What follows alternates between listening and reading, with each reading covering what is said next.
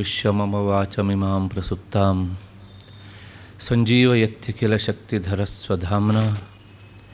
अन्यांश्च हस्तचरणश्रवणत्वगादीन् प्राणान्नमो भगवते पुरुषाय तुभ्यं यावर्णपदवाक्यार्थगद्यपद्यस्वरूपिणी वाचि नर्तयतु क्षिप्रं मेधां देवी सरस्वती।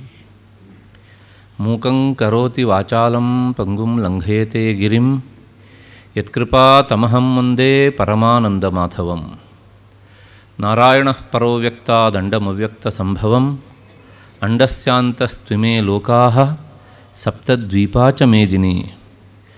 श्रुतिस्मृतिपुराणानाम् आलयं करुणालयं नमामि भगवत्पादं शङ्करं लोकशङ्करं नमस्तस्मै भगवते शङ्कराचार्यरूपिणे।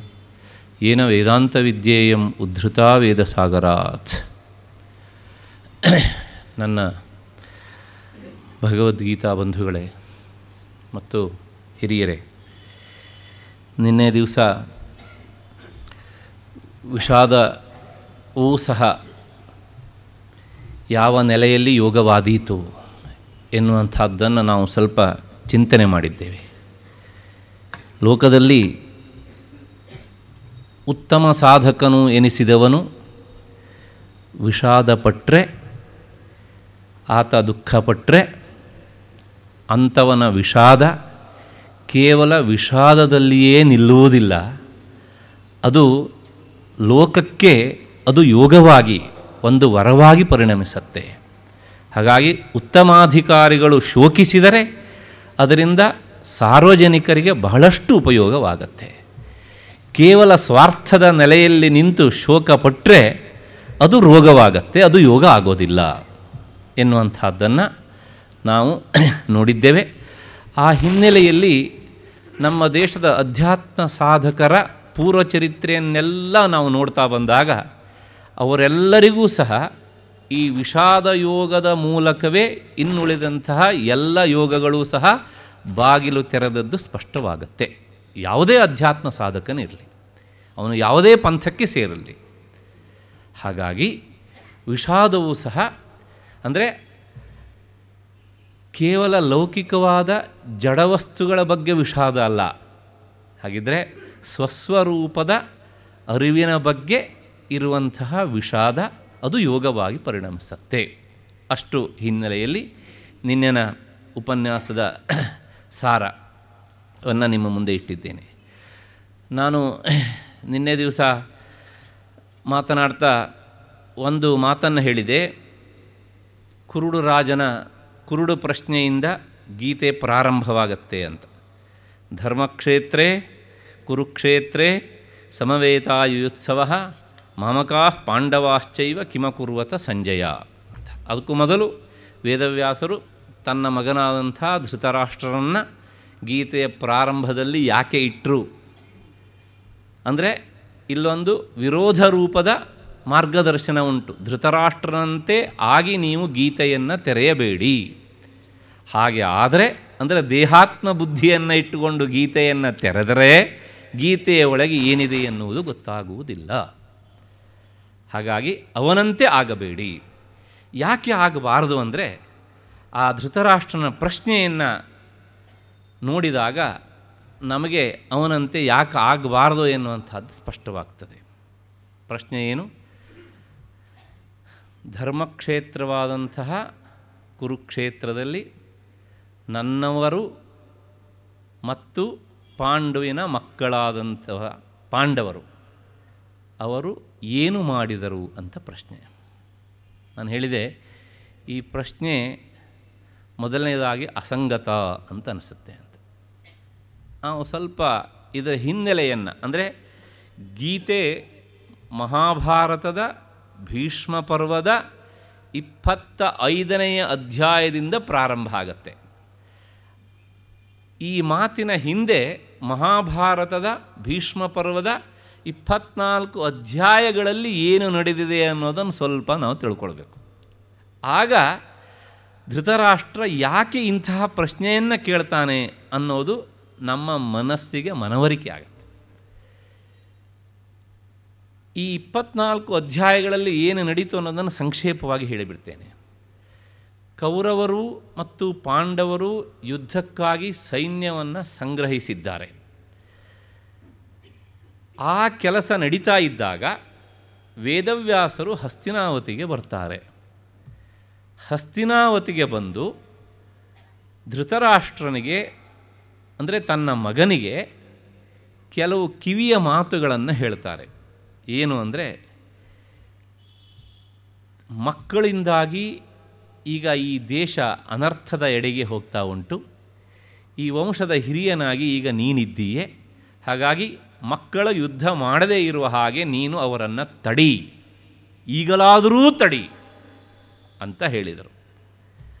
ಆದರೆ ಮೊದಲೇ ಕುರುಡನಾದಂಥ ಧೃತರಾಷ್ಟ್ರ ವೇದವ್ಯಾಸರ ಈ ಮಾತಿಗೆ ಕಿವುಡನೂ ಆಗಿಬಿಟ್ಟ ಆಗ ವೇದವ್ಯಾಸರು ಒಂದು ಮಾತು ಹೇಳ್ತಾರೆ. ಕೇವಲ ನಿನ್ನ ಮಕ್ಕಳ ಅಚಾತುರ್ಯದಿಂದ ಇಡೀ ದೇಶದ ಜನಾಂಗದ ಹತ್ಯೆ ಆಗ್ತಾ ಉಂಟು. ಇದಕ್ಕೆ ನಿನ್ನ ಮಕ್ಕಳ ಅಚಾತುರ್ಯವೇ ಕಾರಣ.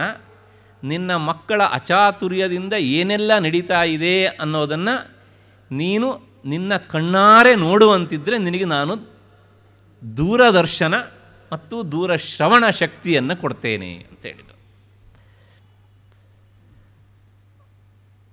ಯಾವಾಗಲೂ ಯುದ್ಧಸ್ಯ ವಾರ್ತಾರಮ್ಯ ಶ್ರವಣಂತೂ ದುಷ್ಕರಂ ಅಂತ. ಅಲ್ಲ, ದರ್ಶನಂತೂ ದುಷ್ಕರಂ ಅಂತ. ಯುದ್ಧದ ಸಮಾಚಾರವನ್ನು ಕೇಳುವುದು ತುಂಬ ಇಷ್ಟ. ಆದರೆ ಪ್ರತ್ಯಕ್ಷ ನೋಡುವುದು ತುಂಬ ಭಯಾನಕ. ಧೃತರಾಷ್ಟ್ರ ಹೇಳಿದ, ಇಲ್ಲ, ನಾನು ನೋಡೋದಕ್ಕೆ ಬಯಸೋದಿಲ್ಲ, ಕೇಳೋದಕ್ಕೆ ಬಯಸ್ತೇನೆ ಅಂತ. ಹಾಗಾಗಿ ಆ ದಿವ್ಯ ದರ್ಶನ ಮತ್ತು ದಿವ್ಯ ಶ್ರವಣ ಇದು ಎರಡನ್ನೂ ಸಹ ಸಂಜಯನಿಗೆ ಕೊಟ್ಟರು ವೇದವ್ಯಾಸರು. ತಾನು ನೋಡೋದಕ್ಕೆ ಇಷ್ಟಪಡೋದಿಲ್ಲ ಅಂತ ಹೇಳಿದ ಅವನು. ಕೊನೆಗೆ ಹೊರಡುವ ಮುನ್ನ ಇನ್ನೊಂದು ಮಾತನ್ನು ಹೇಳ್ತಾರೆ. ಕೇವಲ ಕೌಟುಂಬಿಕ ಕಲಹಕ್ಕಾಗಿ ನಿನ್ನ ಮಕ್ಕಳು ಮಾಡಿದ ತಪ್ಪಿಗಾಗಿ ಇಡೀ ದೇಶ ಬಲಿಯಾಗಿ ಹೋಗಬೇಕಾ? ಹಾಗಾಗಿ ನೀನು ಹೊರಗಣ್ಣಿನಿಂದ ಕುರುಡನಾದರೂ ಚಿಂತೆ ಇಲ್ಲ, ಒಳಗಣ್ಣಿನಿಂದ ಕುರುಡನಾಗಬೇಡ, ನಿನ್ನ ವಿವೇಕದ ನೆಲೆಯಲ್ಲಿ ನಿಂತು ನೋಡು. ಮಕ್ಕಳಿಗೆ ಬುದ್ಧಿ ಹೇಳು, ಅವರನ್ನು ತಡಿ ಅಂತ ಮತ್ತೆ ಹೇಳಿದರು. ಆಗ ಧೃತರಾಷ್ಟ್ರ ಹೇಳ್ತಾನೆ, ನಾನು ತಡೆಯೋದಿಲ್ಲ, ಅವರು ಏನು ಮಾಡ್ಕೊಳ್ಳಬೇಕೋ ಮಾಡಿಕೊಳ್ಳಿ. ಇದು ಧೃತರಾಷ್ಟ್ರ ಹೇಳಿದ್ದಾರೆ ಇಷ್ಟು ಆದ ಮೇಲೆ ಮತ್ತೆ ಯುದ್ಧದ ಆ ಒಂದು ಎಲ್ಲ ಸೈನ್ಯ ಸಂಗ್ರಹಣೆ, ಭೌಗೋಳಿಕವಾದಂಥ ವಿಶಾಲತೆ, ಅದನ್ನೆಲ್ಲವನ್ನೂ ಸಹ ಅಲ್ಲಿ ಕುಳಿತು ನೋಡ್ತಾ ಇದ್ದಂತಹ ಸಂಜಯ ಇಷ್ಟು ಹೇಳಿ ವೇದವ್ಯಾಸರು ಹೊರಟೋಗ್ಬಿಟ್ರು. ನಿನ್ನ ಹಣೆ ಬರಹ ಏನಾರು ಮಾಡುವ ಅಂತ. ಅವರಿಗೇನು ಮಗ ಎನ್ನುವಂಥ ವ್ಯಾಮೋಹ ಇಲ್ಲ. ಹಾಗಾಗಿ ನಿನ್ನ ಹಣೆ ಬರಹ. ನೀನೇನು ಮಾಡಿದ್ಯೋ ಅದನ್ನು ಅನುಭವಿಸ್ತೀಯೇ ಅಂಥೇಳಿ ಹೊರಟು ಹೋದರು ಆಮೇಲೆ ಸಂಜಯ ಆ ಎಲ್ಲ ಯುದ್ಧದ ಕೆಲವು ಮಾಹಿತಿಗಳನ್ನು, ಅಂದರೆ ಯಾವ್ಯಾವ ಕಡೆಯಿಂದ ಸೈನ್ಯ ಬರ್ತಾ ಇದೆ, ಯಾವ್ಯಾವ ಸೈನ್ಯ ಎಲ್ಲೆಲ್ಲಿ ಜಮಾವಣೆ ಆಗ್ತಾ ಇದೆ, ಆ ಭೌಗೋಳಿಕವಂಥ ಅಷ್ಟು ವಿಸ್ತೀರ್ಣ, ಅಂದರೆ ಯುದ್ಧಕ್ಕಾಗಿ ಬಳಸಿಕೊಂಡಂತಹ ಆ ಒಂದು ಭೂ ವಿಸ್ತೀರ್ಣತೆ, ಇದನ್ನೆಲ್ಲವನ್ನು ಹೇಳ್ತಾ ಸಂಜೆಯ, ಅವನಿಗೆ ಏನು ಅನ್ನಿಸ್ತೇನೋ ಇದನ್ನೆಲ್ಲ ಪ್ರತ್ಯಕ್ಷ ನೋಡಬೇಕು ಅಂಥೇಳಿ, ಯುದ್ಧ ಪ್ರಾರಂಭ ಆಗುವ ಹೊತ್ತಿಗೆ ಹಸ್ತಿನಾವತಿಯನ್ನು ಬಿಟ್ಟು ನೇರ ಕುರುಕ್ಷೇತ್ರಕ್ಕೆ ನಡೆದುಬಿಟ್ಟ.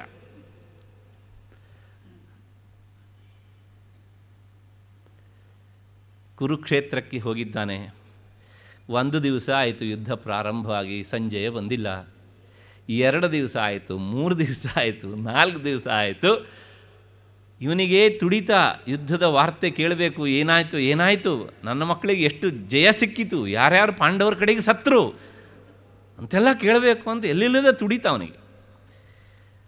ಸಂಜೆ ಬಂದಿಲ್ಲ. ಹತ್ತನೆಯ ದಿವಸ ಕೌರವರ ಸೇನಾನಾಯಕನಂತಹ ಭೀಷ್ಮ ಧರೆಗೆ ಉರುಳಿದ. ಅವನು ಶರಶಯ್ಯಗೆ ಏರಿದಾಗ ಅದನ್ನು ನೋಡಿ ಸಂಜಯ ಹಸ್ತಿನಾವತಿಗೆ ಬಂದು ಧೃತರಾಷ್ಟ್ರನಿಗೆ ಮೊದಲು ತಿಳಿಸಿದ್ದು ದುರಂತದ ವಾರ್ತೆ.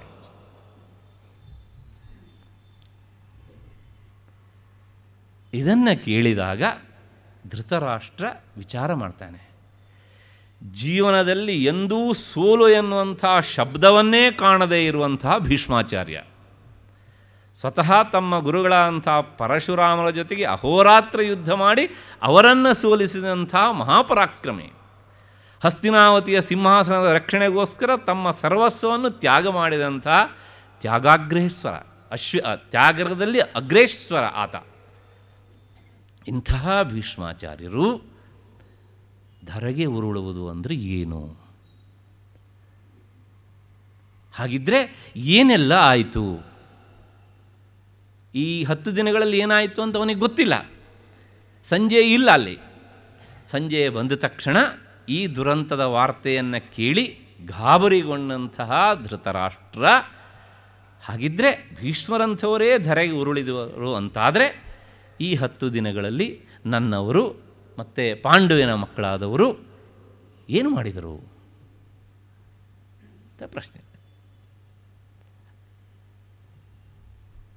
ಹೇಗೆ ಯುದ್ಧ ಮಾಡಿಕೊಂಡ್ರು ಅಂತ ಕೇಳಬೇಕಿತ್ತು. ಕೇಳುವ ಧೈರ್ಯ ಅಲ್ಲ, ಯಾಕೆಂದರೆ ಭೀಷ್ಮರಂತರೇ ಉರುಳಿ ಹೋಗಿದ್ದಾರೆ ಈಗ. ಹಾಗಾಗಿ ಏನು ಮಾಡಿದ್ರು? ಈ ಹತ್ತು ದಿನಗಳಲ್ಲಿ ಏನೇನಾಯಿತು? ಯಾವ್ಯಾವ ಸೈನ್ಯದವರು ಯಾವ್ಯಾವ ಕಡೆಗೆ ಸೇರಿಕೊಂಡರು?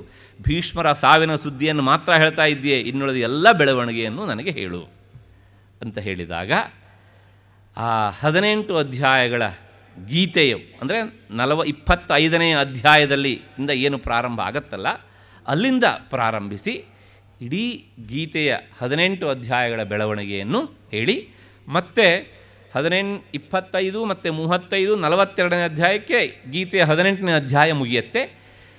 ನಲವತ್ತ ಮೂರನೇ ಅಧ್ಯಾಯದಲ್ಲಿ ಧರ್ಮರಾಯನ ನಿಲುವು ಏನು? ಅವನು ಯಾವ ರೀತಿಯಾಗಿ ತನ್ನ ನಿಲುವನ್ನು ಪ್ರಕಟಪಡಿಸಿದ? ಎನ್ನುವಂಥದ್ದನ್ನು ಧೃತರಾಷ್ಟ್ರನಿಗೆ ಸಂಜಯ ತಿಳಿಸ್ತಾನೆ. ಆ ಹಿನ್ನೆಲೆಯಲ್ಲಿ ಅದನ್ನು ಕೇಳಿ ಆದಮೇಲೆ ಇವನ ಪ್ರಶ್ನೆ ಈಗ ಏನಂದರೆ ಇವರು ಏನು ಮಾಡಿದರು ಹಾಗಿದ್ರೆ?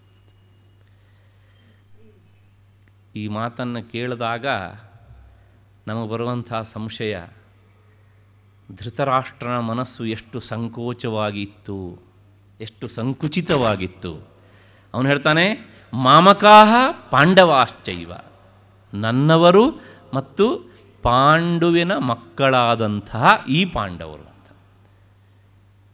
ಹೀಗೆ ಹೇಳಿದ್ದಿಂದಲೇ ಗೊತ್ತಾಗುತ್ತೆ, ಅವನಿಗೆ ಸ್ವತಃ ತಮ್ಮನ ಮಕ್ಕಳಾದಂಥ ಪಾಂಡವರು ನನ್ನವರಾಗಿ, ತನ್ನವರಾಗಿ ಕಾಣಲಿಲ್ಲ. ಅವನ ಆ ಸಂಕೋಚ ಬುದ್ಧಿ ಢಾಳವಾಗಿ, ನೇರವಾಗಿ ನಮಗೆ ಹೊಡೆಯುತ್ತೆ. ಗೊತ್ತಾಗತ್ತೆ. ಮತ್ತಷ್ಟೇ ಅಲ್ಲ, ಮಾಮಕಾಹ ಅಂತಲೇ ನೇರವಾಗಿ ಕೇಳ್ಬೋದಿತ್ತು ಅವನು. ನಮ್ಮ ಮಕ್ಕಳು ಏನು ಮಾಡಿಕೊಂಡ್ರು, ಹೇಗೆ ಯುದ್ಧ ಮಾಡಿಕೊಂಡ್ರು ಅಂತ ಕೇಳ್ಬೋದಿತ್ತು. ಅಲ್ಲೇ ಮತ್ತು ಪುನಃ, ಇವನು ನನ್ನವನು, ಇವನು ಬೇರೆಯವನು ಅಂತ. ಸಂಸದ ಸುಭಾಷಿತ ಒಂದು ಹೇಳುತ್ತೆ, ಯಾವನ ಮನಸ್ಸಿನಲ್ಲಿ ಈ ಭಾವನೆ ಇರುತ್ತೋ, ಅವನು ತುಂಬ ಸಂಕೋಚದ ಮನಸ್ಸಿನವನು. ಸಂಕೋಚ ದಾಕ್ಷಿಣ್ಯ ಅಂತಲ್ಲ, ಸಂಕುಚಿತ ಮನಸ್ಸಿನವನು ಅಂತ. ಅಯಂ ನಿಜ ಪರೋವೇತಿ ಗಣನಾ ಲಘುಚೇತಸಾಂ ಉದಾರ ಚರಿತಾನಂತು ವಸುಧೈವ ಕುಟುಂಬಕಂ. ಇವನು ನನ್ನವನು, ಇವನು ಬೇರೆಯವನು ಅಂತ ವಿಚಾರ ಮಾಡುವವನು ಯಾರು ಕೇಳಿದರೆ ಅವನು ಲಘುಚೇತಸ್, ಅವನು ಸ್ವಾರ್ಥಿ, ಅವನು ಸಂಕುಚಿತ ಮನಸ್ಸಿನವನು ಅಂತ. ಹಾಗಾಗಿ ಆ ಧೃತರಾಷ್ಟ್ರನ ಮನಸ್ಸಿನಲ್ಲಿ ಏನಿತ್ತೋ ಅದು ಬಾಯಿಗೆ ಬರ್ತಾ ಇದೆ. ಅವಳು ಹಾಗೆ ಅಲ್ವಾ? ನಾವು ಏನು ತಿಂದಿರ್ತೇವೋ ಆ ತಿಂದಿದ್ದರ ತೇಗೆ ಬರುತ್ತೆ ಅಷ್ಟೇ ಹೊರತು ಸಹ ತಿನ್ನದೇ ಇದ್ದದರ ತೇಗು ಬರುವುದಿಲ್ಲ. ಹಾಗೆ ಅವನ ಕೊಳಕು ಮನಸ್ಸಿನಲ್ಲಿ ಇದ್ದಂಥದ್ದು ಹುಳುಕು ಬಾಯಿ ಮೂಲಕ ಈಚೆ ಬಂತು. ಅದು ಕೇಳಿದ್ದೇನು ಕೇಳಿದರೆ, ಮಾಮಕಾಹ ಪಾಂಡವಾಶ್ಚೈವ ಕಿಮ ಕುರುವತ ಸಂಜಯ. ಮತ್ತು ಆ ಶ್ಲೋಕದಲ್ಲಿ ನಾನು ನೋಡಬೇಕಾದದ್ದು ಇನ್ನೊಂದು, ಯಾಕೆ ಈ ಪ್ರಶ್ನೆಯನ್ನು ಕೇಳ್ತಾನೆ ಅವನು ಅಂತ ನಮ್ಮನ್ನು ಕಾಡುತ್ತೆ ಒಂದು ಸಂಶಯ. ಅದಕ್ಕೆ ಕಾರಣ ಉಂಟು ಕೌರವರು ಪಾಂಡವರು ಯುದ್ಧ ಮಾಡಿಕೊಂಡದ್ದು ಕೇವಲ ಕುರುಕ್ಷೇತ್ರದಲ್ಲಿ ಅಲ್ಲ. ಆ ಕುರುಕ್ಷೇತ್ರಕ್ಕೆ ಒಂದು ವಿಶೇಷಣ ಉಂಟು. ಎಂತಹ ಕುರುಕ್ಷೇತ್ರ? ಧರ್ಮಕ್ಷೇತ್ರೇ ಕುರುಕ್ಷೇತ್ರೇ. ಧರ್ಮಕ್ಷೇತ್ರವಾದಂತಹ ಕುರುಕ್ಷೇತ್ರ ಅದು. ಇದರ ಬಗ್ಗೆ ಒಂದು ಸ್ವಲ್ಪ ವಿಶೇಷವನ್ನು ನಾನು ಹೇಳಬೇಕು. ಅದಕ್ಕೆ ಕುರುಕ್ಷೇತ್ರ ಎನ್ನುವಂಥದ್ದು ಅನಾದಿಯಿಂದ ಇದ್ದ ಹೆಸರಲ್ಲ.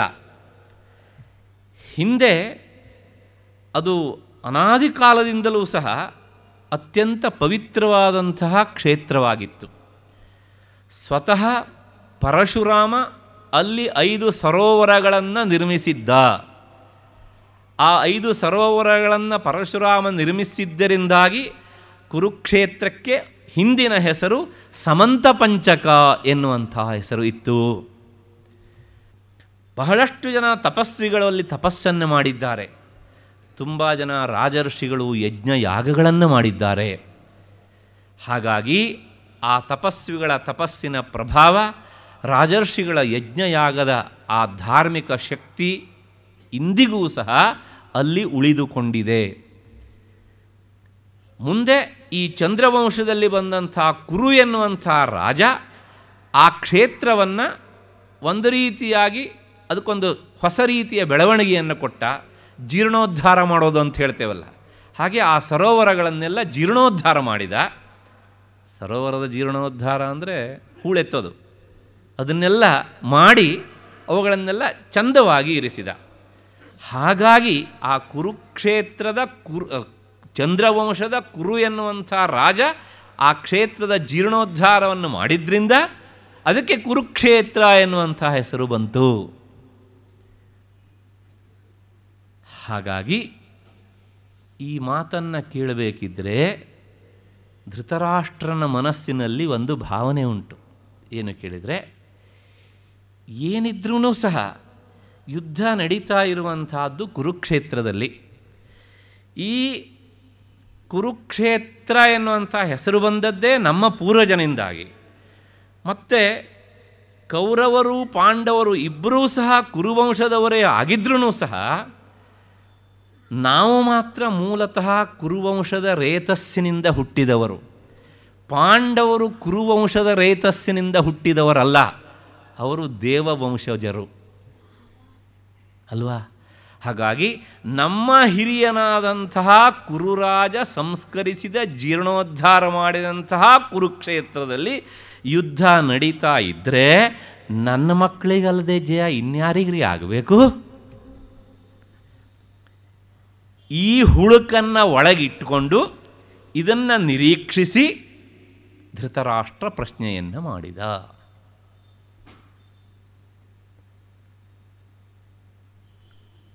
ಇದಕ್ಕೆ ಇನ್ನು ಎರಡು ತರಹದ ಸಮಾಧಾನಗಳುಂಟು.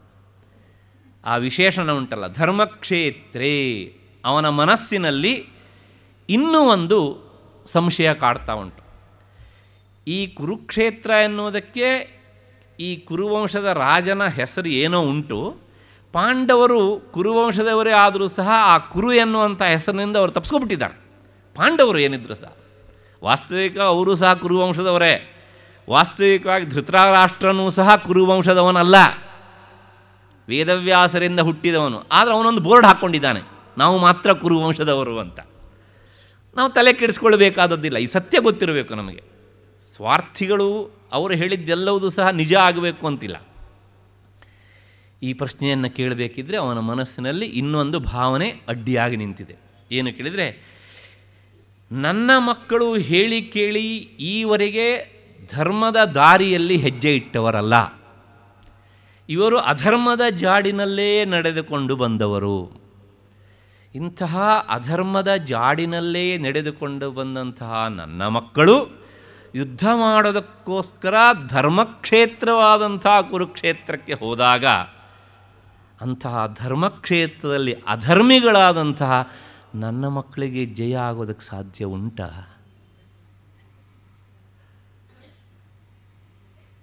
ಆದರೂ ಆಗ್ಬೋದು. ಯಾಕೆ ಹೇಳಿದರೆ ಕುರುವಂಶದವರು ನಾವಲ್ವಾ?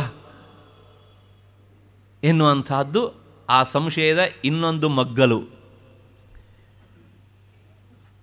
ಇದು ಎರಡು ಸಂಶಯ ಜೊತೆಗೆ ಮತ್ತೆ ಇನ್ನೆರಡು ಸಂಶಯ. ಕುರುಡು ರಾಜ ಆದರೆ ಏನಂತೆ? ಪ್ರಶ್ನೆ ಕೊಡೋದಕ್ಕೆ ಬರುತ್ತೆ ಅವನಿಗೂ ಸಹ. ಕುರುಡು ಕುರುಡು ಪ್ರಶ್ನೆ. ಈಗ ನಾವು ಅವನ ಮನಸ್ಸಿನ ಒಳ ಹೊಕ್ಕಿ ನೋಡಬೇಕು. ಏನು ಪ್ರಶ್ನೆ ಕೇಳಿದ? ಅಂದರೆ, ಧರ್ಮಕ್ಷೇತ್ರ, ಈಗ ತಾನೇ ನಾನು ಹೇಳಿದಾಗೆ ತುಂಬ ಜನ ರಾಜಋಷಿಗಳು ಅಲ್ಲಿ ಯಜ್ಞಯಾಗ ಮಾಡಿದ್ದಾರೆ, ಋಷಿಮುನಿಗಳು ತಪಸ್ ಮಾಡಿದ್ದಾರೆ. ಆ ಧರ್ಮದ ಅವರ ತಪಸ್ಸಿನ ಶಕ್ತಿ ಅಲ್ಲಿ ಇನ್ನೂ ಸಹ ಉಳಿದಿದೆ. ಈಗ ಅಲ್ಲಿ ನಡೀದೇ ಇದ್ದರೂ ಸಹ ಅಲ್ಲಿ ಆ ಶಕ್ತಿ ಉಳಿದಿದೆ, ಸಂಸ್ಕಾರ ರೂಪದಲ್ಲಿ. ಹೇಗೆ ಅಂದರೆ, ಕಸ್ತೂರಿಯನ್ನು ಒಂದು ಪೆಟ್ಟಿಗೆಯಲ್ಲಿ ಹಾಕಿಟ್ರೆ, ಒಂದು ತಿಂಗಳಾದ ಮೇಲೆ ಆ ಕಸ್ತೂರಿಯನ್ನು ತೆಗೆದು ಹಾಕಿದ್ರೂ ಸಹ ಅದರ ವಾಸನೆಯಲ್ಲಿ ಇದ್ದೇ ಇರುತ್ತೆ.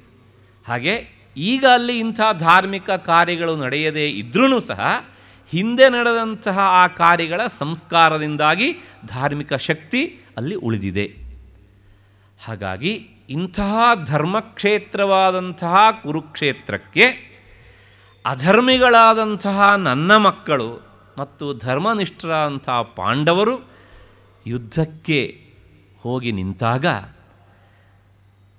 ಆ ಧಾರ್ಮಿಕ ಶಕ್ತಿಯ ಪ್ರಭಾವದಿಂದಾಗಿ ಅಧರ್ಮಿಗಳಾದಂತಹ ನನ್ನ ಮಕ್ಕಳಿಗೆ, ಛೆ, ಯುದ್ಧ ಎನ್ನುವುದು ಹಿಂಸೆ. ಇದು ಬೇಡಪ್ಪ. ಪಾಂಡವರ ರಾಜ್ಯವನ್ನು ಅವರಿಗೇ ಕೊಟ್ಬಿಡೋಣ. ಅಂತ ಹೇಳಿ ಯುದ್ಧ ಬೇಡ ಅಂತ ಡಿಕ್ಲೇರ್ ಮಾಡಿ ಪಾಂಡವರಿಗೆ ಏನಾದರೂ ರಾಜ್ಯವನ್ನು ಕೊಡುವುದಕ್ಕೆ ನನ್ನ ಮಕ್ಕಳಾದಂಥ ದುರ್ಯೋಧನ, ದುಶಾಸನ ಇವರೆಲ್ಲ ಮುಂದಾಗಿ ಬಿಟ್ರಾ? ಯಾಕೆ ಕೇಳಿದರೆ ಅವರು ಪ್ರವೇಶ ಮಾಡಿದ್ದು ಧರ್ಮಕ್ಷೇತ್ರಕ್ಕೆ. ಆ ಧರ್ಮಕ್ಷೇತ್ರದ ಪ್ರಭಾವ ಅಧರ್ಮಿಗಳಾದ ಇವರ ಮೇಲೆ ಬಿದ್ದು ನನ್ನ ಮಕ್ಕಳು ಏನಾದರೂ ಧರ್ಮಿಷ್ಠರಾಗಿ ಯುದ್ಧ ಬೇಡ ಅಂತ ನಿಶ್ಚಯಿಸಿಬಿಟ್ರಾ? ಆದರೆ ಪಾಪ ಅವನಿಗೆ ಗೊತ್ತಿಲ್ಲ. ಎಂತಹ ಧಾರ್ಮಿಕ ಶಕ್ತಿಯೂ ಸಹ ಇವನ ಮಕ್ಕಳನ್ನು ಬದಲಾವಣೆ ಮಾಡಲಾರದು. ಹೇಗೆ ಅಂದರೆ ಒಂದು ಉದಾಹರಣೆ ಕೊಡ್ತಾರೆ. ಈ ಅಯಸ್ಕಾಂತಕ್ಕೆ ಕಬ್ಬಿಣವನ್ನು ತನ್ನತ್ತ ಎಳೆದುಕೊಳ್ಳುವ ಶಕ್ತಿ ಇರ್ತದೆ. ಆದರೆ ಆ ಕಬ್ಬಿಣಕ್ಕೆ ತುಕ್ಕು ಹಿಡಿದು ಬಿಟ್ರೆ ಅಯಸ್ಕಾಂತ ಅದನ್ನು ಎಳೆಯುತ್ತಾ? ಸ್ಪರ್ಶಮಣಿಗೆ ತಾಗಿದಂಥ ಕಬ್ಬಿಣ ಬಂಗಾರವಾಗುತ್ತಂತೆ. ಆದರೆ ನಾವು ಯಾವ ಕಬ್ಬಿಣವನ್ನು ಸ್ಪರ್ಶಮಣಿಗೆ ತಾಗಿಸ್ತೇವೋ ಆ ಕಬ್ಬಿಣಕ್ಕೆ ತುಕ್ಕು ಹಿಡಿದುಬಿಟ್ರೆ ಒಂದಲ್ಲ, ಹತ್ತು ಸ್ಪರ್ಶಮಣಿ ತಾಗಿದರೂ ಸಹ ತುಕ್ಕಿಡದ ಕಬ್ಬಿಣ ಕಬ್ಬಿಣವಾಗಿಯೇ ಇರ್ತದೆ. ಹಾಗಾಗಿ ಕುರುಡು ರಾಜನಿಗೆ ತನ್ನ ಮಕ್ಕಳಿಗೆಲ್ಲರಿಗೂ ಸಹ ಅಧಾರ್ಮಿಕ ಪ್ರವೃತ್ತಿ ಅನ್ನುವಂತಹ ಈ ತುಕ್ಕು ಹಿಡಿದು ಹೋಗಿದೆ ಅನ್ನೋದು ಮರ್ತು ಹೋಗಿದೆ ಹಾಗಾಗಿ ಮೂರನೆಯ ಅವನ ಸಂಶಯದ ಮಜಲು ಅಧಾರ್ಮಿಷ್ಠರಾಗಿದ್ದರೂ ಸಹ ಧರ್ಮಕ್ಷೇತ್ರವಾದಕ್ಕೆ, ವಾದ ಕುರುಕ್ಷೇತ್ರಕ್ಕೆ ಹೋದಾಗ ಈ ಬುದ್ಧಿ ಜಾಗೃತವಾಗಿ ಅಂದರೆ ಧರ್ಮ ಬುದ್ಧಿ ಜಾಗೃತವಾಗಿ ಯುದ್ಧ ಬೇಡ ಅಂಥೇಳಿ ಪಾಂಡವರಿಗೆ ಎಲ್ಲ ರಾಜ್ಯವನ್ನು, ಅವರ ರಾಜ್ಯವನ್ನು ಕೊಡೋದಕ್ಕೆ ಏನಾದರೂ ನಿಶ್ಚಯಿಸಿಬಿಟ್ರ. ಹಾಗೆ ಮಾಡಿದರೆ ಇಷ್ಟು ದಿವಸ ನಾನು ಮಾಡ್ಕೊಂಡು ಬಂದಿದ್ದೆಲ್ಲ ವ್ಯರ್ಥವಾಗಿ ಹೋಯ್ತಲ್ಲ. ಇದು ಮೂರನೆಯ ಸಂಶಯ. ಇನ್ನು ನಾಲ್ಕನೆಯ ಸಂಶಯ.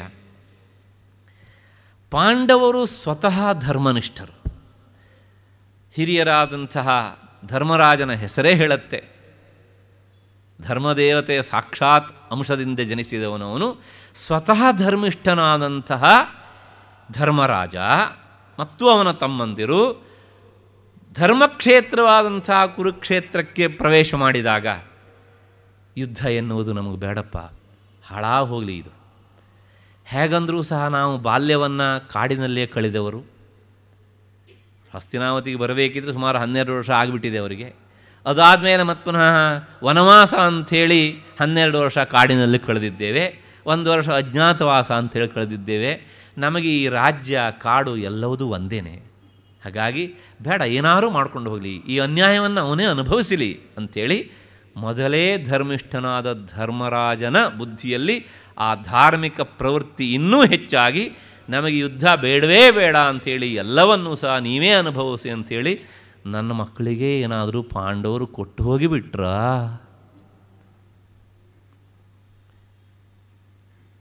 ಇದು ಅವನ ನಾಲ್ಕನೆಯ ಸಂಶಯದ ಬೀಜ. ಹಾಗಾಗಿ ಹೇಗೆ ಯುದ್ಧ ಮಾಡಿಕೊಂಡ್ರು ಅಂತ ಕೇಳಬೇಕಾದ ಜಾಗದಲ್ಲಿ ಏನು ಮಾಡಿದರು ಅಂತ ಕೇಳ್ತಾರೆ. ಹಾಗಾಗಿ ಧರ್ಮಕ್ಷೇತ್ರೇ, ಕುರುಕ್ಷೇತ್ರೇ, ಸಮವೇತಾಯುತ್ಸವ, ಮಾಮಕಾ, ಪಾಂಡವಾಶ್ಚೈವ ಕಿಮ ಕುರುವತ ಸಂಜಯ. ಇದಿಷ್ಟು ಈ ಶ್ಲೋಕಕ್ಕಿರುವಂತಹ ಲೌಕಿಕವಾದಂತಹ ಅರ್ಥದ ಮುಖ. ಇದಕ್ಕೊಂದು ವೇದಾಂತದ ಹಿನ್ನೆಲೆ ಉಂಟು. ಏನು ಅಂದರೆ ಈ ಯುದ್ಧ, ಕೌರವರ ಪಾಂಡವರ ಯುದ್ಧ ಯಾವುದೋ ಡೆಲ್ಲಿಯ ಹತ್ತಿರದಲ್ಲಿರುವಂತಹ ಹರಿಯಾಣ, ಇವತ್ತಿನ ಹರಿಯಾಣ, ಅಂದಿನ ಕುರುಕ್ಷೇತ್ರದಲ್ಲಿ ಮಾತ್ರ ನಡೆಯುವಂತಹದ್ದು ಅಲ್ಲ. ಈ ಯುದ್ಧ ಪ್ರತಿದಿನವೂ ಈ ದೇಹ ಎನ್ನುವಂತಹ ಕುರುಕ್ಷೇತ್ರದಲ್ಲಿ ನಡೀತಾನೇ ಇರ್ತದೆ. ಇಲ್ಲೂ ಸಹ ಧೃತರಾಷ್ಟ್ರನ ಮಕ್ಕಳು ಇದ್ದಾರೆ. ಪಾಂಡವನ ಮಕ್ಕಳು ಸಹ ಇದ್ದಾರೆ. ಧೃತರಾಷ್ಟ್ರನ ದೊಡ್ಡ ಮಗ ದುರ್ಯೋಧನ ಇದ್ದಾನೆ. ಅವನು ಹೇಳ್ತಾನೆ, ಪರವಾಗಿಲ್ಲ, ಇನ್ನೊಬ್ಬರ ಆಸ್ತಿಯನ್ನು ಲಪಟಾಯಿಸು. ಯಾಕೆ ಸುಮ್ಮನೆ ಕೂತ್ಕೊಳ್ತೀಯೇ? ನೋಡು ಒಂದು ಕೈ ಸಿಕ್ಕಿದ್ರೆ ಬಿಡಬೇಡ. ಅಂತ ಇಲ್ಲಿರುವಂತಹ ದುರ್ಯೋಧನ ಹೇಳ್ತಾನೆ. ನಮ್ಮ ಮನಸ್ಸಿನ ಒಂದೊಂದು ಆಲೋಚನೆಯ ವೃತ್ತಿಗಳು ಸಹ ಧೃತರಾಷ್ಟ್ರನ ಒಬ್ಬೊಬ್ಬ ಮಕ್ಕಳು.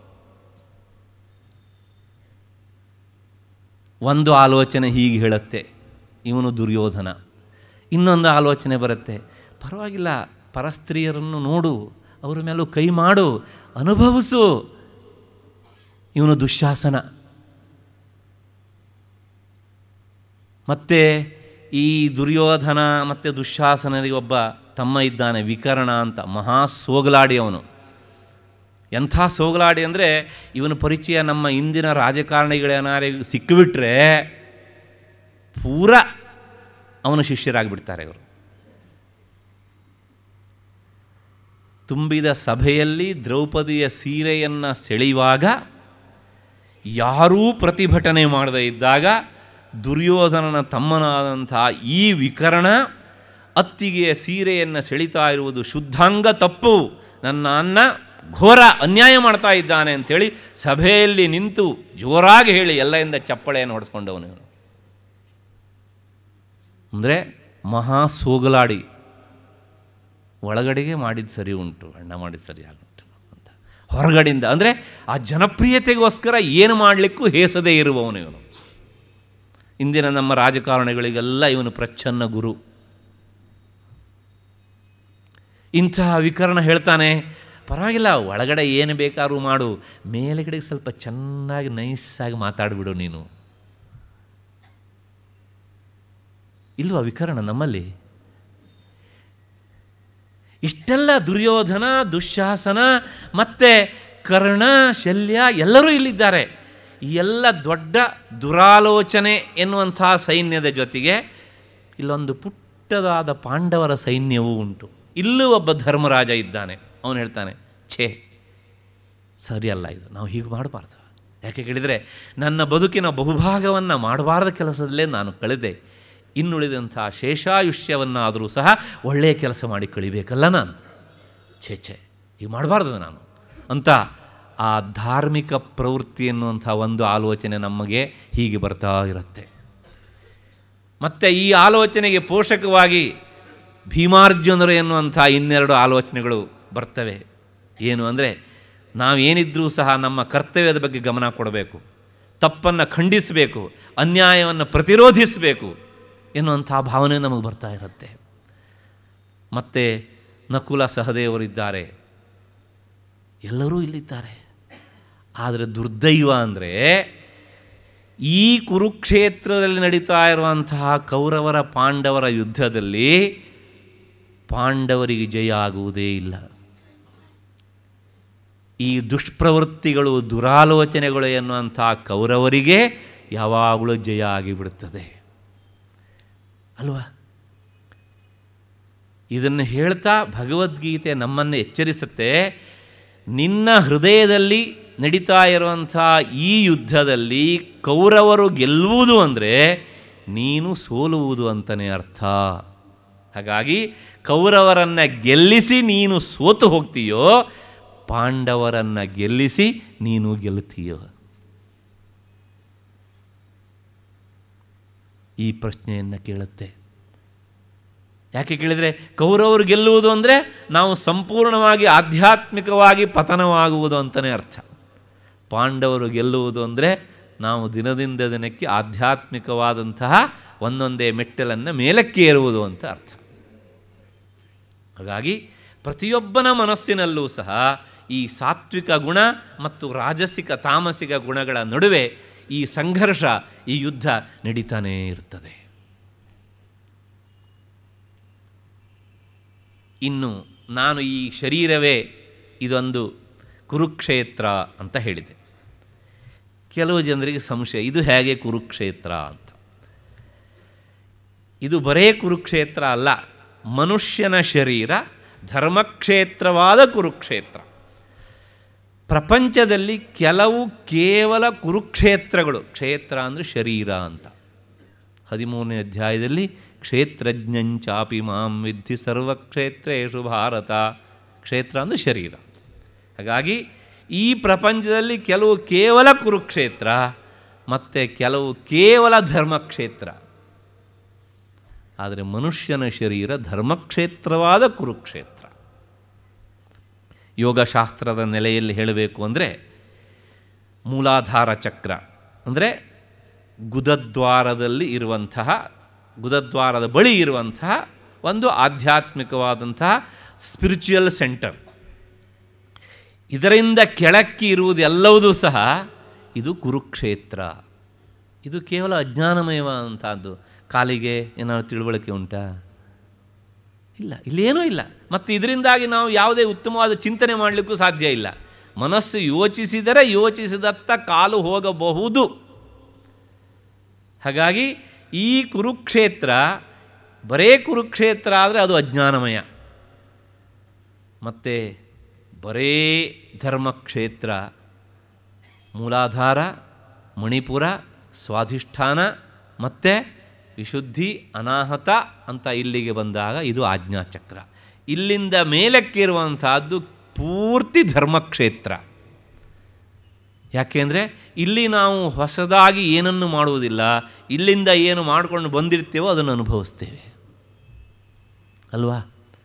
ಸೌಂದರ್ಯ ಲಹರಿಯಲ್ಲಿ ಈ ವಿಚಾರವನ್ನು ನಾನು ಹೇಳಿದ್ದೇನೆ. ಸಾಧನೆ ಮಾಡಿ ಇಲ್ಲಿ ಬಂದು ನಿಂತ ಆದಮೇಲೆ ನಿನ್ನ ಸಾಧನೆಯ ಸ್ಥಿರತೆಯಲ್ಲಿ ಏನಿರುತ್ತೋ ಅದಕ್ಕೆ ತಕ್ಕ ಹಾಗೆ ಫಲ ಆಗುತ್ತೆ ಹಾಗಾಗಿ ಇಲ್ಲಿಂದ ಮೇಲಕ್ಕೆ ಕೇವಲ ಧರ್ಮಕ್ಷೇತ್ರ, ಇಲ್ಲಿಂದ ಕೆಳಕ್ಕೆ ಕೇವಲ ಕುರುಕ್ಷೇತ್ರ. ಆದರೆ ಈ ಮಧ್ಯದ ಭಾಗ ಉಂಟಲ್ಲ, ಇದು ಧರ್ಮಕ್ಷೇತ್ರವೂ ಹೌದು, ಕುರುಕ್ಷೇತ್ರವೂ ಹೌದು. ಯಾಕೆ? ಹೃದಯದಲ್ಲಿ ಪರಮಾತ್ಮನ ಸಾನ್ನಿಧ್ಯ ಇದೆ ಎನ್ನುವಂಥದ್ದನ್ನು ನಾವು ನೋಡ್ತೇವೆ. ಉಪನಿಷತ್ತುಗಳು ಹೇಳ್ತೇವೆ, ಆ ಎಲ್ಲ ಹಿನ್ನೆಲೆಯಲ್ಲಿ ಮನುಷ್ಯ ಮನುಷ್ಯ ಕರ್ಮವನ್ನು ಮಾಡ್ತಾ ಮಾಡ್ತಾ ಈ ದೇಹವನ್ನು ಕುರುಕ್ಷೇತ್ರವನ್ನಾಗಿಯೂ ಮಾಡಿಕೊಳ್ತಾನೆ ಆ ಮಾಡಿದ ಕರ್ಮವನ್ನು ಅನುಭವಿಸೋದಕ್ಕೋಸ್ಕರ ಧರ್ಮಕ್ಷೇತ್ರವನ್ನಾಗಿಯೂ ಮಾಡಿಕೊಳ್ತಾನೆ ಹಾಗಾಗಿ ಮನುಷ್ಯನ ಶರೀರ ಅದು ಧರ್ಮಕ್ಷೇತ್ರವೂ ಹೌದು, ಕುರುಕ್ಷೇತ್ರವೂ ಹೌದು, ಇದು ಒಂದು. ಮತ್ತು ನಾನು ಆಗ ಹೇಳಿದ ಹಾಗೆ ಕೆಲವು ಕೇವಲ ಕುರುಕ್ಷೇತ್ರ, ತಿರ್ಯಕ್ ಜಂತುಗಳಿವೆ. ನಾಳೆನ ಅರಿವಿಲ್ಲ. ಮುಂದೇನು ಎನ್ನುವಂಥದ್ದು ಗೊತ್ತಿಲ್ಲ. ಅಪ್ಪ, ಅಮ್ಮ, ಅಣ್ಣ, ತಮ್ಮ, ಅಕ್ಕ, ತಂಗಿ ಎನ್ನುವಂಥ ಬಾಂಧವ್ಯದ ಪ್ರಜ್ಞೆ ಇಲ್ಲ. ಎಲ್ಲವೂ ಸಹ ಅವುಗಳಿಗೆ ಒಂದೇ. ಇಂತಹ ಪ್ರಾಣಿ ಶರೀರ ಅದು ಕೇವಲ ಕುರುಕ್ಷೇತ್ರ. ಅವು ಕುರು ಅಂದರೆ ಮಾಡು. ಏನು ಅಂದರೆ ಆಹಾರ ಹುಡುಕು, ತಿನ್ನು, ಆಹಾರ ನಿದ್ರಾ ಭಯಮೈಥುನಂಚ ಇಷ್ಟು ಮಾತ್ರ ಅವುಗಳ ಕುರುಕ್ಷೇತ್ರ. ಮತ್ತು ಧರ್ಮಕ್ಷೇತ್ರ ಅಂದರೆ ದೇವತಾ ಶರೀರವನ್ನು ಪಡೆದವರು, ಅವರು ಕೇವಲ ಧರ್ಮಕ್ಷೇತ್ರದವರು. ಯಾಕೆ ಹೇಳಿದರೆ, ಅಲ್ಲಿ ಮತ್ಪನ ಅವರಿಗೆ ಕರ್ಮ ಮಾಡೋದಕ್ಕೆ ಅವಕಾಶ ಇಲ್ಲ. ಏನು ಮಾಡಿ ಹೋಗಿರ್ತಾರೋ ಅದನ್ನು ಅನುಭವಿಸ್ತಾರೆ. ಅನುಭವಿಸಿ ಆದಮೇಲೆ ಮತ್ಪುನಃ ವಾಪಸ್ ಬರ್ತಾರೆ. ಹಾಗಾಗಿ ಅವರದ್ದು ಕೇವಲ ಧರ್ಮಕ್ಷೇತ್ರ. ಹಾಗಾಗಿ ಖಟ್ವಾಂಗ ಎನ್ನುವಂಥ ರಾಜ ಅಲ್ಲಿದ್ದರೂ ಸಹ ನನಗಿನ್ನೇನು ಪ್ರಯೋಜನ ಇಲ್ಲ. ಕೇವಲ ನಾನು ಇನ್ನು ಏನು ಮಾಡ್ಕೊಂಡು ಹೋಗಿದ್ದೇನೋ ಅದನ್ನು ಅನುಭವಿಸಬೇಕು. ಮೋಕ್ಷಕ್ಕೋಸ್ಕರ ಪುನಃ ಮನುಷ್ಯ ಶರೀರಕ್ಕೆ ನಾನು ಬರಬೇಕು ಅಂತೇಳಿ ದೇವಲೋಕವನ್ನು ಬಿಟ್ಟು ಆತ ಮನುಷ್ಯ ಲೋಕಕ್ಕೆ ಬಂದ ಅಂತ ನಮ್ಮ ಸಾಹಿತ್ಯ ಹೇಳುತ್ತದೆ. ಖಟ್ವಾಂಗ ಎನ್ನುವಂಥ ರಾಜ. ಹಾಗಾಗಿ ಮನುಷ್ಯ ಶರೀರ ಮಾತ್ರ, ಅದು ಧರ್ಮಕ್ಷೇತ್ರವೂ ಹೌದು, ಅದು ಮತ್ತು ಕುರುಕ್ಷೇತ್ರವೂ ಹೌದು. ಹಾಗಾಗಿ ಈ ಕುರುಕ್ಷೇತ್ರವಾದ ಧರ್ಮಕ್ಷೇತ್ರದಲ್ಲಿ ನಿರಂತರ ಕೌರವರಿಗೂ ಪಾಂಡವರಿಗೂ ಸಂಘರ್ಷ ನಡೀತಾ ಇರ್ತದೆ ಹಾಗಾಗಿ ನಾವು ಕುರುಕ್ಷೇತ್ರದ ಯುದ್ಧದ ವಿಚಾರವನ್ನು ನೋಡೋದಕ್ಕೆ ಕುರುಕ್ಷೇತ್ರಕ್ಕೆ ಅಂದರೆ ಹರಿಯಾಣಕ್ಕೆ ಹೋಗಬೇಕಾದದ್ದಿಲ್ಲ, ಇಲ್ಲೂ ಸಹ ದಿನವೂ ನಡೀತಾ ಇರ್ತದೆ. ಆದರೆ ನಾವು ಧೃತರಾಷ್ಟ್ರನಾಗಿ ನೋಡಬಾರದು ಅಷ್ಟೇ. ಇಷ್ಟು ಆದ ಮೇಲೆ ಮತ್ತೆ ಇಂತಹ ಕುರುಕ್ಷೇತ್ರದಲ್ಲಿ ಆ ಕೌರವರ, ಪಾಂಡವರ ಸೇನಾ ಜಮಾವಣೆ ಆಗಿತ್ತಲ್ಲ. ನಿನ್ನೆ ದಿವಸ ನಾನು ಇದನ್ನು ಹೇಳಿದ್ದೆ, ನಾಳೆ ಇದನ್ನು ಹೇಳ್ತೇನೆ ಅಂತ. ಎಷ್ಟು? ಹದಿನೆಂಟು ಅಕ್ಷೋಹಿಣಿ ಸೈನ್ಯ ಜಮಾವಣೆ ಆಗಿತ್ತು. ಪಾಂಡವರ ಕಡೆಗೆ ಏಳು ಅಕ್ಷೋಹಿಣಿ, ಕೌರವರ ಕಡೆಗೆ ಹನ್ನೊಂದು ಅಕ್ಷೋಹಿಣಿ. ನಮಗೆ ಈ ಏಳು ಹನ್ನೊಂದು ಗೊತ್ತು. ಪಾಂಡವರ ಕಡೆಗೆ ಏಳು ಅಕ್ಷೋಹಿಣಿ ಇತ್ತಂತೆ, ನಮ್ಮ ಅಜ್ಜಿ ಹೇಳ್ತಿದ್ರು. ಮತ್ತು ಕೌರವರ ಕಡೆಗೆ ಹನ್ನೊಂದು ಅಕ್ಷೋಹಿಣಿ ಇತ್ತಂತೆ ಅಂತ. ಆದರೆ ಗೊತ್ತಿಲ್ಲದೆ ಇರುವುದೇನು? ಅಕ್ಷೋಹಿಣಿ ಅಂದರೆ ಏನು ಅಂತ ಪ್ರಶ್ನೆ ಅಷ್ಟೇ. ಈ ಅಕ್ಷೋಹಿಣಿ ಅನ್ನೋದನ್ನು ತಿಳ್ಕೊಳ್ಳೋದಕ್ಕಿಂತ ಮುನ್ನ ಅದಕ್ಕೂ ಮೊದಲು ಇದರ ಹಿಂದೆ ಎಂಟು ಮಜಲುಗಳಿವೆ. ಅದು ಗೊತ್ತಾದರೆ ನಮಗೆ ಸಾಮಾನ್ಯವಾಗಿ ಅಕ್ಷೋಹಿಣಿ ಅಂದರೆ ಏನು ಏನು ಅಂತ ಒಂದು ಕಲ್ಪನೆ ಬರ್ತದೆ. ನಮ್ಮ ಪ್ರಾಚೀನರು ಈ ಯುದ್ಧದ ಬಗ್ಗೆ ಎಂಥ ಅಚ್ಚುಕಟ್ಟಾದಂಥ ವ್ಯವಸ್ಥೆಯನ್ನು ಸಂಖ್ಯೆಯನ್ನು ಕರಾರುವಾಕ್ಕಾಗಿ ಇಟ್ಟಿದ್ದಾರೆ ಅಂದರೆ ಅಮರಸಿಂಹ ಎನ್ನುವಂತಹ ಕೋಶಕಾರ ಆತ ತನ್ನ ಕೋಶದಲ್ಲಿ ಹೇಳ್ತಾನೆ, ಈ ಅಕ್ಷೋಹಿಣಿ ಅನ್ನೋದರ ಸೂಕ್ಷ್ಮ ರೂಪ ಯಾವುದು? ಅಂದರೆ ಪತ್ತಿ ಅಂತ. ಪತ್ತಿ ಅಂತ, ಅಂದರೆ ಸೇನೆಯ ಅತ್ಯಂತ ಸಣ್ಣದಾದಂಥ ತುಗುಡಿಗೆ ಪತ್ತಿ ಅಂತ ಕರೀತಾರೆ ಆ ಪತ್ತಿ ಅಂದರೆ ಹೇಗಿರಬೇಕು ಅಂದರೆ ಏಕೇ ಭೈಕ ರಥಾತ್ರಶ್ವ ಪತ್ತಿ ಪಂಚಪದಾತಿಕ. ಏಕ ಇಭ. ಇಭ ಅಂದರೆ ಆನೆ. ಒಂದು ಆನೆ, ಮತ್ತು ರಥ. ಒಂದು ರಥ, ಮೂರು ಕುದುರೆ, ತ್ರ್ಯಶ್ವ, ತ್ರಿ ಅಶ್ವ, ಮೂರು ಕುದುರೆ, ಮತ್ತು ಐದು ಜನ ಕಾಲಾಳುಗಳು, ಅಂದರೆ ಸೋಲ್ಜರ್ಸ್ಗಳು ಐದು ಸೈನಿಕರು, ಮತ್ತು ಮೂರು ರಥ ಒಂದು ಆನೆ, ಮತ್ತು ಒಂದು ಎಲ್ಲ ಮೂರು ಕುದುರೆ, ಮತ್ತು ಒಂದು ರಥ, ಒಂದು ಆನೆ. ಇಷ್ಟಕ್ಕೆ ಪತ್ತಿ ಅಂತ ಹೆಸರು. ಇದು ಸೈನ್ಯದ ಅತ್ಯಂತ ಸಣ್ಣದಾದಂಥ ತುಕುಟಿ. ಇದಕ್ಕಿಂತ ಮೂರು ಪಟ್ಟು ದೊಡ್ಡದು ಸೇನಾಮುಖ ಅಂತ. ಅಂದರೆ ಎಲ್ಲದೂ ಮೂರು ಮೂರು ಪಟ್ಟು ಹೆಚ್ಚಾಗ್ತಾ ಹೋಗಬೇಕು. ಒಂದು ಇದ್ದಿದ್ದು ಮೂರು ಆಗಬೇಕು ಮೂರು ಇದ್ದಿದ್ದು ಒಂಬತ್ತು ಆಗಬೇಕು ಐದು ಇದ್ದಿದ್ದು ಹದಿನೈದು ಆಗಬೇಕು. ಮತ್ತೆ ಈ ಸೇನಾಮುಖಕ್ಕಿಂತ ಮೂರು ಪಟ್ಟು ದೊಡ್ಡದು ಗುಲ್ಮ ಅಂತ. ಗುಲ್ಮಕ್ಕಿಂತ ಮೂರು ಪಟ್ಟು ದೊಡ್ಡದು ಗಣ ಅಂತ. ಗಣಕ್ಕಿಂತ ಮೂರು ಪಟ್ಟು ದೊಡ್ಡದು ವಾಹಿನಿ ಅಂತ. ವಾಹಿನಿಗಿಂತ ಮೂರು ಪಟ್ಟು ದೊಡ್ಡದು ಪೃತನ ಅಂತ. ಈ ಪೃತನಕ್ಕಿಂತ ಮೂರು ಪಟ್ಟು ದೊಡ್ಡದು ಚಮು ಅಂತ. ಚಮುಗಿಂತ ಮೂರು ಪಟ್ಟು ದೊಡ್ಡದು ಅನೀಕಿನಿ ಅಂತ. ಅನೀಕಿನಿಗಿಂತ ಮೂರು ಪಟ್ಟು ದೊಡ್ಡದು ಅಕ್ಷೋಹಿಣಿ ಅಂತ. ಅಂದರೆ ಒಂದು ಅಕ್ಷೋಹಿಣಿ ಅಂದರೆ ಹೆಚ್ಚಿಗೆ ಇಲ್ಲ. ಇಪ್ಪತ್ತೊಂದು ಸಾವಿರದ ಒಂದು ನೂರ ಎಪ್ಪತ್ತು ಆನೆಗಳು ಇರಬೇಕು. ಒಂದು ಅಕ್ಷೋಹಿಣಿಯಲ್ಲಿ. ಅಷ್ಟೇ ರಥ ಇರಬೇಕು. ಮತ್ತು ಅರವತ್ತೈದು ಸಾವಿರದ ಆರುನೂರ ಹತ್ತು ಕುದುರೆಗಳಿರಬೇಕು. ಮತ್ತು ಒಂದು ಲಕ್ಷದ ತೊಂಬತ್ತ್ಮೂರು ಸಾವಿರದ ಐವತ್ತು ಕಾಲಾಳುಗಳು ಅಂದರೆ ಸೋಲ್ಜರ್ಸ್ ಇರಬೇಕು, ಸೈನಿಕರು ಇರಬೇಕು. ಇದು ಒಂದು ಅಕ್ಷೋಹಿಣಿಯ ಸಂಖ್ಯೆ. ಇಂಥದ್ದು ಹದಿನೆಂಟು ಅಕ್ಷೋಹಿಣಿ. ಅಂದರೆ ಒಟ್ಟು ಆನೆಗಳು ಎಷ್ಟು ಸೇರಿದ್ವು? ಅಂದರೆ ಮೂರು ಲಕ್ಷದ ತೊಂಬತ್ತ್ಮೂರು ಸಾವಿರದ ಆರುನೂರ ಅರವತ್ತು ಆನೆಗಳು ಮಹಾಭಾರತ ಯುದ್ಧದಲ್ಲಿ ಭಾಗವಹಿಸಿದ್ದವು. ಇಷ್ಟೇ ರಥವನ್ನು ಸಹ ಬಳಸಲಾಗಿತ್ತು. ಹನ್ನೊಂದು ಲಕ್ಷದ ಎಂಬತ್ತು ಸಾವಿರದ ಒಂಬೈನೂರ ಎಂಬತ್ತು ಕುದುರೆಗಳು ಪಾಲ್ಗೊಂಡಿದ್ದವು. ಹತ್ತೊಂಬತ್ತು ಲಕ್ಷದ ಅರವತ್ತೆಂಟು ಸಾವಿರದ ಮುನ್ನೂರು ಸೈನಿಕರು, ಕೇವಲ ಸೈನಿಕರು ಭಾಗವಹಿಸಿದ್ದರು. ಈಗ ಲೆಕ್ಕ ಹಾಕ್ಕೊಂಡು ಹೋಗಿ ಕೌರವರು ಮತ್ತು ಪಾಂಡವರು ಎರಡೂ ಕಡೆಗೆ ಒಟ್ಟು ಸೇರಿದಂಥ ಇವರುಗಳ ಸಂಖ್ಯೆ ಎಷ್ಟು ಕೇಳಿದರೆ ಮೂವತ್ತೊಂಬತ್ತು ಲಕ್ಷದ ಮೂವತ್ತಾರು ಸಾವಿರದ ಆರುನೂರು. ಹಾಗಾಗಿ ನಿನ್ನೆ ದಿವಸ ನಾನು ಹೇಳಿದೆ, ಈ ಮೂವತ್ತೊಂಬತ್ತು ಲಕ್ಷ ಇದ್ದಾರಲ್ಲ, ಇವರಿಗೆ ಊಟ, ಉಪಚಾರ, ಆಹಾರ, ಆರೈಕೆ, ಪೂರೈಕೆ. ಮತ್ತು ಇವರಿಗೆಲ್ಲ ಚಿಕಿತ್ಸೆ ನೀಡುವಂಥ ವೈದ್ಯರು ಸರಬರಾಜು ಮಾಡುವವರು ಇತ್ಯಾದಿ ಇತ್ಯಾದಿ ಎಲ್ಲವನ್ನು ಸೇರಿಸಿದರೆ ಸ್ವಲ್ಪ ಹೆಚ್ಚು ಕಡಿಮೆ ಐವತ್ತು ಲಕ್ಷ ಜನರು ಮಹಾಭಾರತ ಯುದ್ಧದಲ್ಲಿ ಪಾಲ್ಗೊಂಡಿದ್ದರು. ಅಂದರೆ ಇವಿಷ್ಟೂ ಜನ ಒಬ್ಬ ಕುರುಡನಾದ ಧೃತರಾಷ್ಟ್ರನಿಂದಾಗಿ ಹತರಾಗಿ ಹೋದರು. ಒಂದು ಕುಟುಂಬ ಕಲಹಕ್ಕೆ ಬಲಿಯಾಗಿ ಹೋಯಿತು. ಹಾಗಾಗಿ ಈ ಅಕ್ಷೋಹಿಣಿ ಎನ್ನುವಂತಹ ಸೈನ್ಯದ ಹಿನ್ನೆಲೆಯಲ್ಲಿ ನಾವು ನೋಡಿ ಆದ ಮೇಲೆ ಮತ್ತೆ ಮುಂದಿನ ಶ್ಲೋಕ, ಮೊದಲನೇ ಶ್ಲೋಕವನ್ನು ನಾವು ನೋಡಿದ್ವಿ. ನೋಡಿ ಆದಮೇಲೆ ಮತ್ತು ಪುನಃ ಮುಂದಿನ ಮಾತು ಏನು ಅಂದರೆ ಸಂಜಯವು ಆಚ ಈ ಧೃತರಾಷ್ಟ್ರ ಪ್ರಶ್ನೆ ಕೇಳಿದ್ದಾನೆ. ಪ್ರಶ್ನೆ ಕೇಳಿದ್ದಕ್ಕೆ ಸಂಜಯ ಈಗ ಉತ್ತರವನ್ನು ಹೇಳಬೇಕು. ಏನು ಹೇಳ್ತಾನೆ ಅಂದರೆ ದೃಷ್ಟ್ವಾತು ಪಾಂಡವಾನೀಕಂ ವ್ಯೂಢಂ ದುರ್ಯೋಧನಸ್ತದ ಆಚಾರ್ಯ ಮುಪಸಂಗಮ್ಯ ರಾಜ ವಚನಮಬ್ರವೀತ್ ಇದರ ಶಬ್ದಶಃ ಅರ್ಥ ಹೀಗೆ,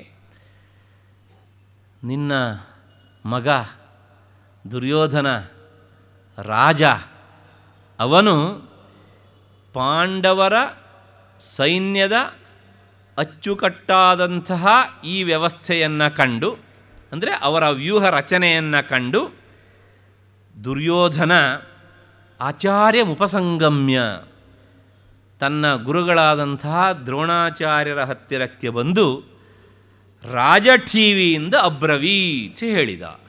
ರಾಜಾವಚನ ಅಬ್ರವೀಚ್. ಇದಿಷ್ಟು ಈ ಶ್ಲೋಕದ ಶಬ್ದಶಃ ಅರ್ಥ. ಈ ಪದ್ಯದಲ್ಲಿ ನಾವು ಕೆಲವು ಅಂಶಗಳನ್ನು ಗಮನಿಸಬೇಕು. ಏನು ಅಂದರೆ, ಈಗ ನೋಡಿ, ಮೊದಲನೇ ದಿವಸದಿಂದ ಸಂಜೆಯ ಧೃತರಾಷ್ಟ್ರಿಗೆ ಏನು ನಡೆಯಿತು ಅಂತ ಹೇಳ್ತಾ ಇದ್ದಾನೆ. ಕೌರವರ ಕಡೆಗೆ ಸೇನಾನಾಯಕರಾಗಿ ಭೀಷ್ಮಾಚಾರ್ಯರಿದ್ದಾರೆ.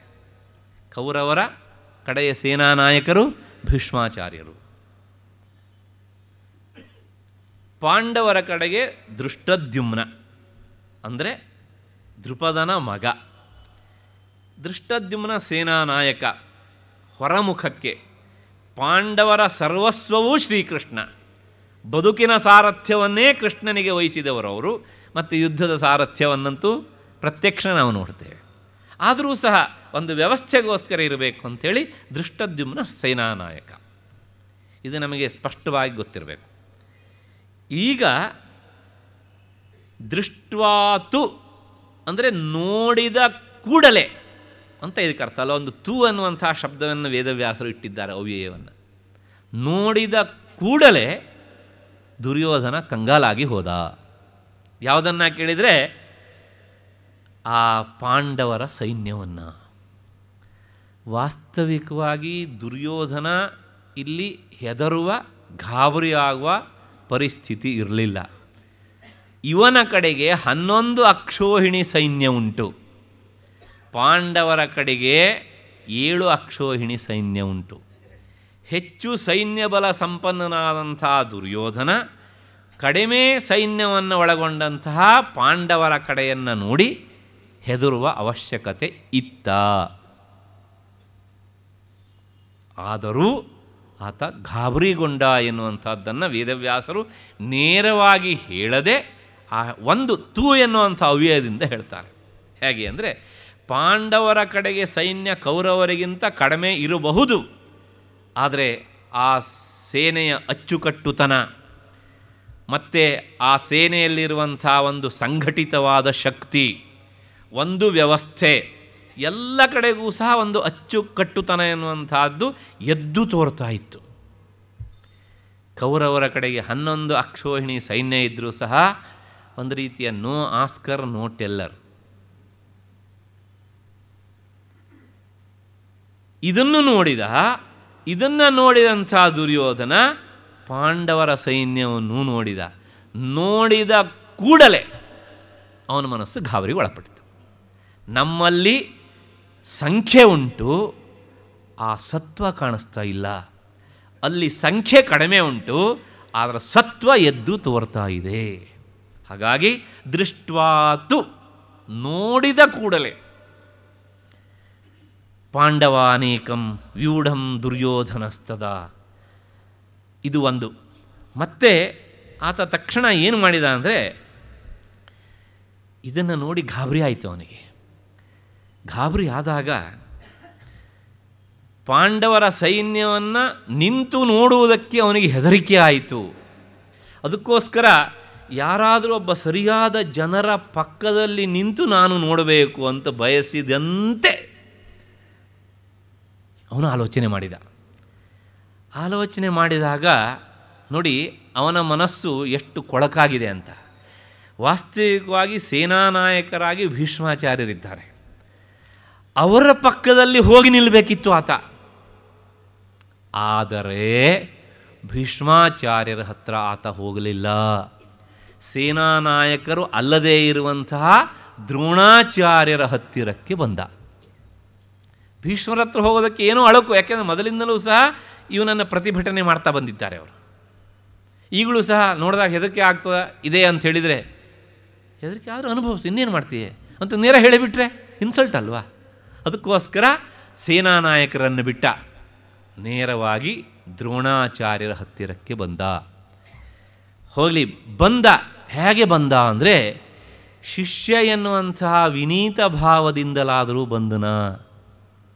ರಾಜಾವಚನಮಬ್ರವೀಚ್ ತಾನೇ ರಾಜ ಎನ್ನುವಂತಹ ಅಹಂಕಾರದಿಂದ ಟಿವಿಯಿಂದ ಬಂದಿದ್ದಾನೆ.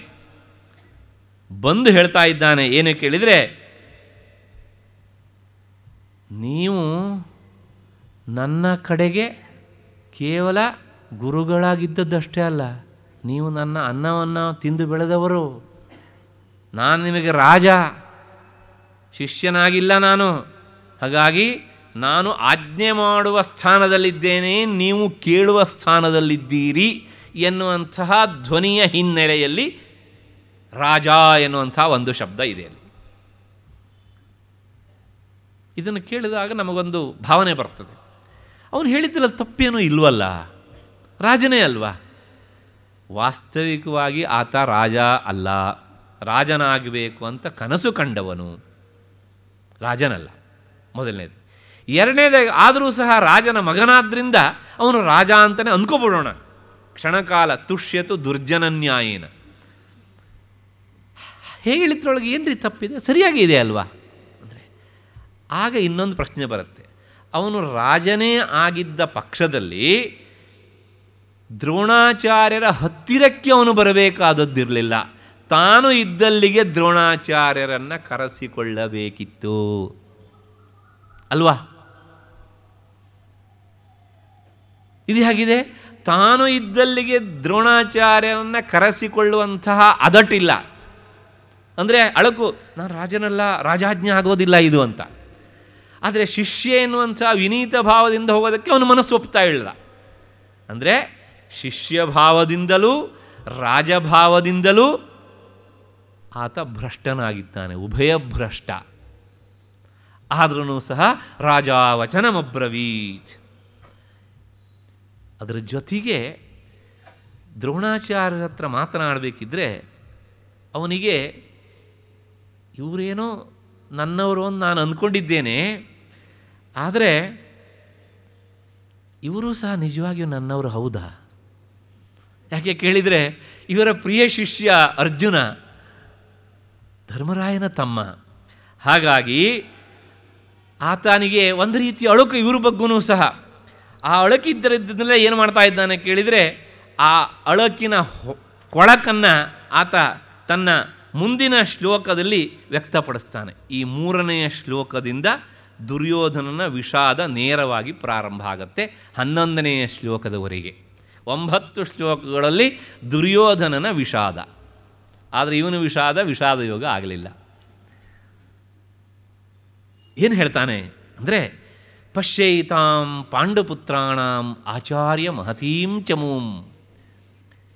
ವ್ಯೂಢಾಂ ದೃಪದಪುತ್ರೇಣ ತವ ಶಿಷ್ಯೇಣ ಧೀಮತ. ಅಂದರೆ, ಆಚಾರ್ಯ ಅಂತ ಸಂಬೋಧನೆ, ದ್ರೋಣಾಚಾರ್ಯರೇ ಅಂತ. ಪಾಂಡವರ ಮಹತ್ತಾದಂತಹ ಈ ಸೇನಾ ಸನ್ನಾಹವನ್ನು ನೀವು ನೋಡಿರಿ. ಯಾವುದು ಕೇಳಿದೆ ಈ ಸೇನಾ ಸನ್ನಾಹ ಅಂತ.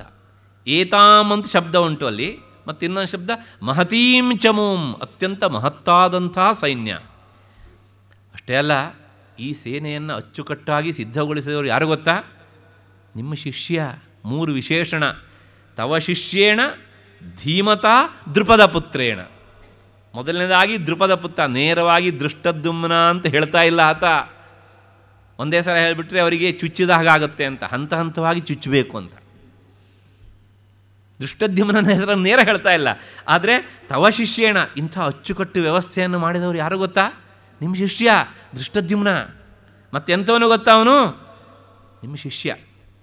ಮತ್ತು ದೃಪದ ಪುತ್ರ, ಮೂರನೇದಾಗಿ ಧೀಮತ, ಮಹಾಬುದ್ಧಿವಂತ. ಈ ಮೂರು ವಿಶೇಷಗಳನ್ನು ಇಟ್ಟು ಈ ಶ್ಲೋಕವನ್ನು ಹೇಳ್ತಾನೆ. ನಾವು ಇಲ್ಲಿ ಕೆಲವು ಶಬ್ದಗಳನ್ನು ಚಿಂತನೆ ಮಾಡಬೇಕು. ಆ ದುರ್ಯೋಧನನ ಮನಸ್ಸಿನಲ್ಲಿ ಏನಿತ್ತು ಅನ್ನೋದನ್ನು. ವಾಸ್ತವಿಕವಾಗಿ ಅಲ್ಲಿ ಮೊದಲನೇ ಶಬ್ದ ಪಶ್ಯ ಅಂದರೆ ನೋಡಿರಿ ಅಂತ. ಏತಾಮ್ ಅಂತ ಶಬ್ದ ಉಂಟು. ಏತಾಮ್ ಅಂದರೆ ಸಂಸ್ಕೃತದಲ್ಲಿ ಅತ್ಯಂತ ಸಮೀಪದಲ್ಲಿ ಇರುವಂತಹ ವಸ್ತುವನ್ನು ತೋರಿಸೋದಕ್ಕೆ ಏತತ್ ಶಬ್ದವನ್ನು ಬಳಸಬೇಕು. ಸಮೀಪವರ್ತಿ ಚೈತದವ ರೂಪಂ ಅಂತ. ದೂರದಲ್ಲಿರುವುದಕ್ಕೆ ತತ್ ಅಂತ ಹೇಳಬೇಕು. ವಾಸ್ತವಿಕವಾಗಿ ಇವನು ಇಲ್ಲಿ ನಿಂತಾಗ ಇವನ ಸೈನ್ಯ ಇವನಿಗೆ ಸಮೀಪವೋ, ಪಾಂಡವರ ಸೈನ್ಯ ಸಮೀಪವೋ, ವಿಚಾರ ಮಾಡಿ. ಆ ಸೈನ್ಯ ಅಂತ ಹೇಳಬೇಕಿತ್ತು. ಆದರೆ ಇವನ ಗಾಬರಿಗೊಂಡಂಥ ಮನಸ್ಸಿಗೆ ತುಂಬ ಗಲಿಬಿಲಿಯಾದಾಗ ಹತ್ತಿರ ದೂರ ದೂರ ಹತ್ತಿರ ಆಗಿಬಿಡ್ತದೆ. ಹಾಗಾಗಿ ಆ ಪಾಂಡವರ ಸೈನ್ಯದ ಅಚ್ಚುಕಟ್ಟುತನ, ವ್ಯವಸ್ಥೆ, ಸಂಘಟನೆ ಇದನ್ನೆಲ್ಲ ನೋಡಿ ಗಾಬರಿಗೊಂಡಾಗ, ಅಯ್ಯೋ, ಈಗ ಅವರು ನಮ್ಮ ಮೇಲೆ ಎರಗಿಯೇ ಬಿಟ್ಟರು ಎನ್ನುವಂತಹ ಭಾವನೆಯಿಂದ ನೋಡಿ ಇಲ್ಲಿ ಹತ್ತಿರದಾಗಲೇ ಬಂದುಬಿಟ್ಟಿದ್ದಾರೆ, ಮುಂದಕ್ಕೆ ಬಂದುಬಿಟ್ಟಿದ್ದಾರೆ. ಇಂಥವರನ್ನು ನಿಮ್ಮಂಥ ಹಿರಿಯರು ಇಲ್ಲಿದ್ದು ಸಹ ನೋಡ್ತಾ ಇಲ್ವಲ್ಲ, ಪಶ್ಯ. ನೋಡಿ, ನಮ್ಮ ಸೈನ್ಯದಲ್ಲಿ ಭೀಷ್ಮಾಚಾರ್ಯರನ್ನು ಬಿಟ್ಟರೆ ನೆಕ್ಸ್ಟ್ ಸೀನಿಯರ್ ನೀವೇ. ನಿಮ್ಮಂಥವರಿದ್ದು ಇದನ್ನು ನೋಡದೆ ನನ್ನಂಥವನು ಬಂದು ನಿಮಗೆ ಹೇಳುವಂತಹ ಪರಿಸ್ಥಿತಿ ಬಂತಲ್ಲ? ನೋಡಿ ನೋಡಿ ನೋಡಿ. ಅವರಿನ್ನೂ ಬಂದೇ ಇಲ್ಲ, ಅಲ್ಲಿದ್ದಾರೆ.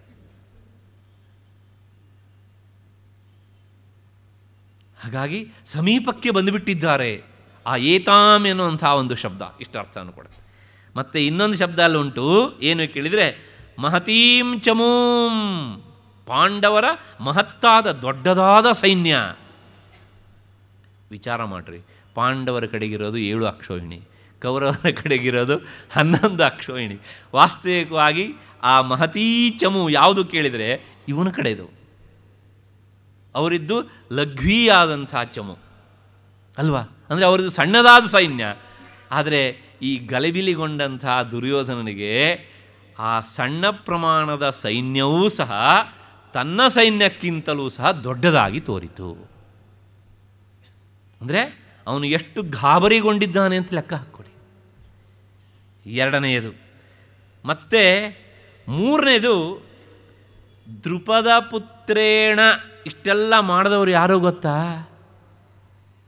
ಆ ದೃಪದ ಇದ್ದಾನಲ್ಲ, ನಿಮ್ಮ ಬಾಲ್ಯ ಸ್ನೇಹಿತ. ಅವನ ಮಗ ದೃಷ್ಟದ್ಯುಮ್ನ ಅಂತ ಹೆಸರಿಲ್ಲ. ದೃಪದ ದೃಷ್ಟದ್ಯುಮ್ನನ್ನು ಪಡೆದದ್ದೇ ದ್ರೋಣಾಚಾರ್ಯರನ್ನು ಸಾಯಿಸೋದಕ್ಕೆ ಅಂತ. ತನ್ನ ದ್ವೇಷವನ್ನು ತೀರಿಸಿಕೊಳ್ಳಬೇಕು ಅಂತ. ಅಗ್ನಿಯಿಂದ ಪಡೆದಂಥವನು, ಅಗ್ನಿಯಿಂದ ಬಂದವನು ದೃಷ್ಟದ್ಯುಮ್ನ. ಹಾಗಾಗಿ ಆ ಹೆಸರನ್ನು ನೇರ ಹೇಳಿದೆ ಇಷ್ಟೆಲ್ಲ ಮಾಡಿದವನು ಯಾರು ಗೊತ್ತಾಯ್ತಾ? ದೃಪದ ಪುತ್ರೇಣ. ಮತ್ತು ಇನ್ನೊಂದು ವಿಶೇಷಣ ಉಂಟು ಅಲ್ಲಿ. ಅವನು ಯಾರು ಕೇಳಿದರೆ, ತವ ಶಿಷ್ಯೇಣ. ನಿಮ್ಮದೇ ಶಿಷ್ಯ ಗುರುಗಳೇ, ನೀವೇ ಹೇಳಿಕೊಟ್ಟು ವಿದ್ಯೆಯನ್ನು ಕಲಿತ, ನಿಮ್ಮನ್ನಲೇ ಬೆಳೆದ, ಈಗ ನಿಮ್ಮ ವಿರುದ್ಧ ನಿಂತು ನೀವು ಹೇಳಿಕೊಟ್ಟಂಥ ಮಂತ್ರವನ್ನು ನಿಮಗೇ ತಿರುಗಿಸ್ತಾ ಇದ್ದಾನೆ. ಗುರುವಿಗೆ ತಿರು ಮಂತ್ರ ಹಾಕುವಂಥ ಶಿಷ್ಯ. ಎಚ್ಚರವಾಗಿರಬಾರ್ದ ನೀವು. ಹೇಗಿದ್ದೀರ ಎಚ್ಚರಿಗೇಡಿಗಳಾಗಿ ನೀವು? ಛೇ ಛೇ ಛೇ ಛೇ. ಮತ್ತೆ ಧೀಮತ, ಮಹಾಬುದ್ಧಿವಂತ. ಪಾಂಡವರ ಕಡೆಗೆ ಇನ್ನೂ ಎಷ್ಟೆಷ್ಟೋ ಜನ ಇದ್ದಾರೆ. ಅವರೆಲ್ಲರನ್ನು ಬಿಟ್ಟು ಧರ್ಮರಾಯ ಇವನನ್ನೇ ಯಾಕೆ ಸೇನಾ ನಾಯಕನನ್ನಾಗಿ ಮಾಡಿದ? ನಿಮ್ಮನ್ನು ಮನಸ್ಸಲ್ಲಿ ಇಟ್ಕೊಂಡೇ ಅಲ್ವಾ? ಹಾಗಾಗಿ ಮಹಾಬುದ್ಧಿವಂತನಿದ್ದಾನೆ ಅವನು. ಅವನು ಇಷ್ಟು ಅಚ್ಚುಕಟ್ಟಾಗಿ ಸೈನ್ಯವನ್ನು ಸಜ್ಜುಗೊಳಿಸಿದ್ದಾನೆ.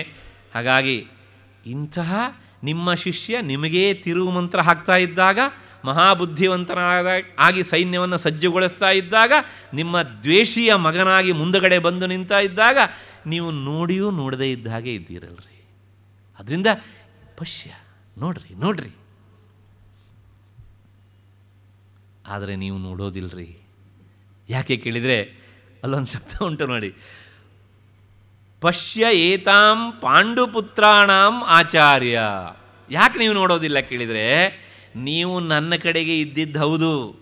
ಆದರೆ ವಾಸ್ತವಿಕವಾಗಿ ನೀವು ನನಗೆ ಆಚಾರ್ಯರಾಗಿ ಇದ್ರೂ ಸಹ ನನ್ನ ಅನ್ನಕ್ಕಾಗಿ ನನ್ನ ಕಡೆಗೆ ಇದ್ದೀರಿ. ನಿಮ್ಮ ಮನಸ್ಸು ಪಾಂಡವರ ಕಡೆಗುಂಟ್ರಿ.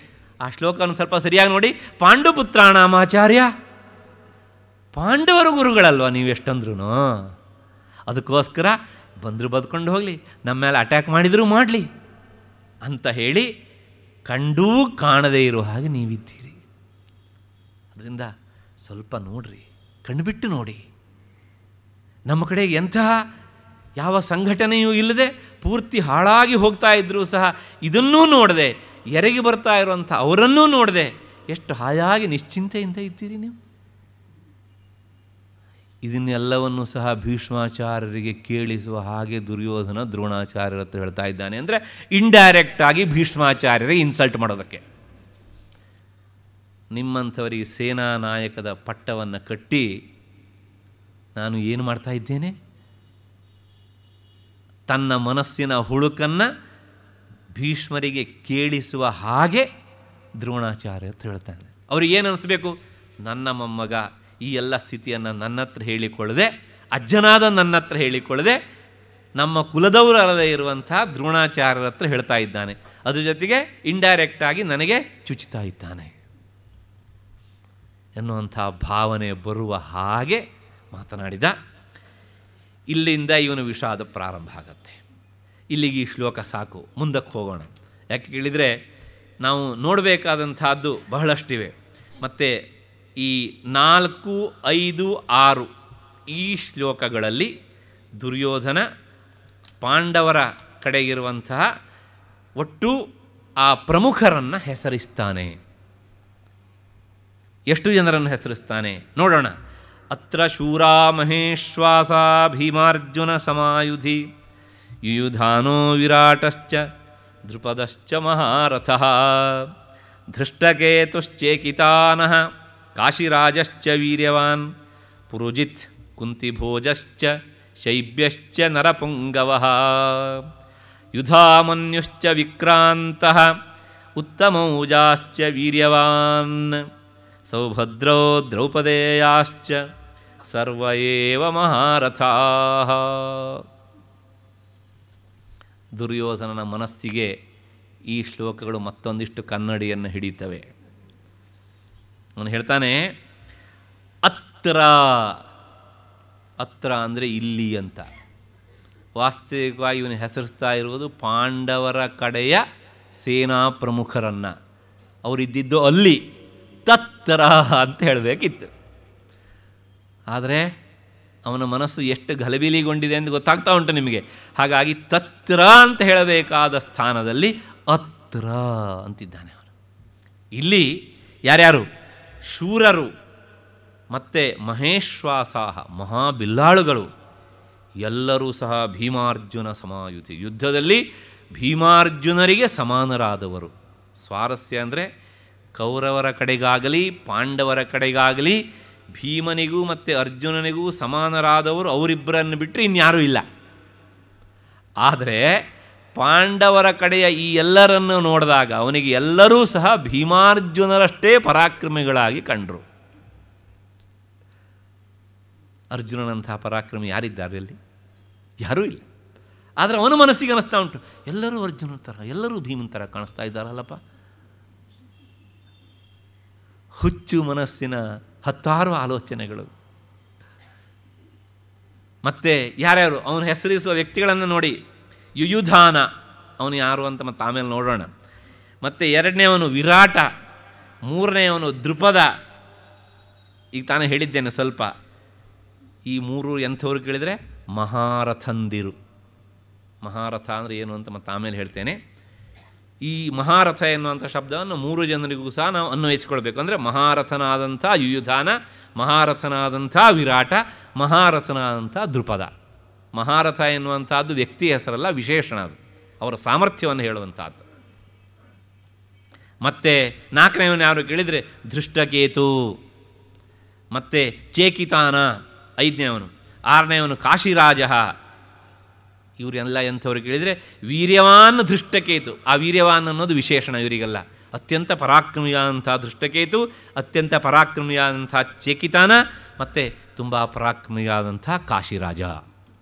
ಅಲ್ಲಿಗೆ ಆರು ಜನರಾದರು. ಮತ್ತು ಕುರು, ಪುರುಜಿತ್, ಏಳನೆಯವನು ಪುರುಜಿತ್ ಎನ್ನುವಂಥವನು. ಮತ್ತು ಎಂಟನೆಯವನು ಕುಂತಿಭೋಜ. ಮತ್ತು ಒಂಬತ್ತನೆಯವನು ಶೈಬ್ಯ ನರಪುಂಗವ. ಅಂದರೆ ಮನುಷ್ಯರಲ್ಲೆಲ್ಲ ಶ್ರೇಷ್ಠನಾದವನು. ಮತ್ತು ಹತ್ತನೆಯವನು ಯುಧಾಮನ್ಯು ಹನ್ನೊಂದನೆಯವನು ಉತ್ತಮೌಜಾಶ್ಚ, ಉತ್ತಮೌಜಸ್ ಎನ್ನುವಂಥವನು. ಎಲ್ಲ ಎಂಥವ್ರಿಗೆ ಕೇಳಿದರೆ ವೀರ್ಯವಾನ್. ಸ್ವಲ್ಪ ಕಣ್ಣು ಬಿಟ್ಟು ನೋಡಿ ಅಲ್ಲಿ ಸ್ವಾರಸ್ಯ ಅಂದರೆ ಪಾಂಡವರ ಕಡೆಗೆ ಒಟ್ಟು ಇರುವಂತಹ ಸೈನ್ಯದ ಸಂಖ್ಯೆ ಏಳು ಅಕ್ಷೋಹಿಣಿ. ಇವನ ಕಡೆಗೆ ಇರುವಂತಹದ್ದು ಸೈನ್ಯದ ಸಂಖ್ಯೆ ಹನ್ನೊಂದು ಅಕ್ಷೋಹಿಣಿ. ಪಾಂಡವರ ಕಡೆಗೆ ಇರುವಂತಹ ಏಳು ಅಕ್ಷೋಹಿಣಿಯಲ್ಲಿ ಅವನ ಕಣ್ಣಿಗೆ ಮಹಾಶೂರರಾಗಿ ಗೋಚರಿಸಿದವರು ಹನ್ನೊಂದು ಜನ. ನೋಡಿ, ಲೆಕ್ಕ ಹಾಕ್ಕೊಂಡು ಹೋಗಿ. ಯುವಿಧಾನ ವಿರಾಟ ದೃಪದ ಮತ್ತು ದೃಷ್ಟಕೇತು ಚೇಕಿತಾನ, ಕಾಶಿರಾಜ, ಪುರುಜಿತ್, ಕುಂತಿಭೋಜ, ಶೈಬ್ಯ ಮತ್ತು ಯುಧಾಮನ್ಯು ಮತ್ತು ಉತ್ತಮೌಜಸ್ ಹನ್ನೊಂದು ಜನ. ಮುಂದೆ ತನ್ನ ಕಡೆಗೆ ಸೈನ್ಯದ ಪ್ರಮುಖರನ್ನು ಹೇಳ್ತಾನೆ, ಏಳು ಜನರನ್ನು ಹೆಸರಿಸ್ತಾನೆ. ರಿವರ್ಸ್ ಪೂರ. ಮತ್ತೆ ಅಷ್ಟೇ ಅಲ್ಲ ಸ್ವಾರಸ್ಯ ಅಂದರೆ, ಈ ಹನ್ನೊಂದು ಜನ, ಅಂದರೆ ಏಳು ಅಕ್ಷೋಹಿಣಿ ಸೈನ್ಯದಲ್ಲಿ ಪಾಂಡವರ ಕಡೆಗೆ ಹನ್ನೊಂದು ಜನ ಅತ್ಯಂತ ಪ್ರಮುಖರವನು ಕಣ್ಣಿಗೆ ಕಂಡರು. ಅದರ ಜೊತೆಗೆ ಅವನು ಇನ್ನೂ ಕೆಲವು ಹೆಸರನ್ನು ಹೇಳ್ತಾನೆ. ಸೌಭದ್ರ ಸೌಭದ್ರ ಅಂದರೆ ಸುಭದ್ರೆಯ ಮಗನಾದಂತಹ ಅಭಿಮನ್ಯು. ಹನ್ನೆರಡು.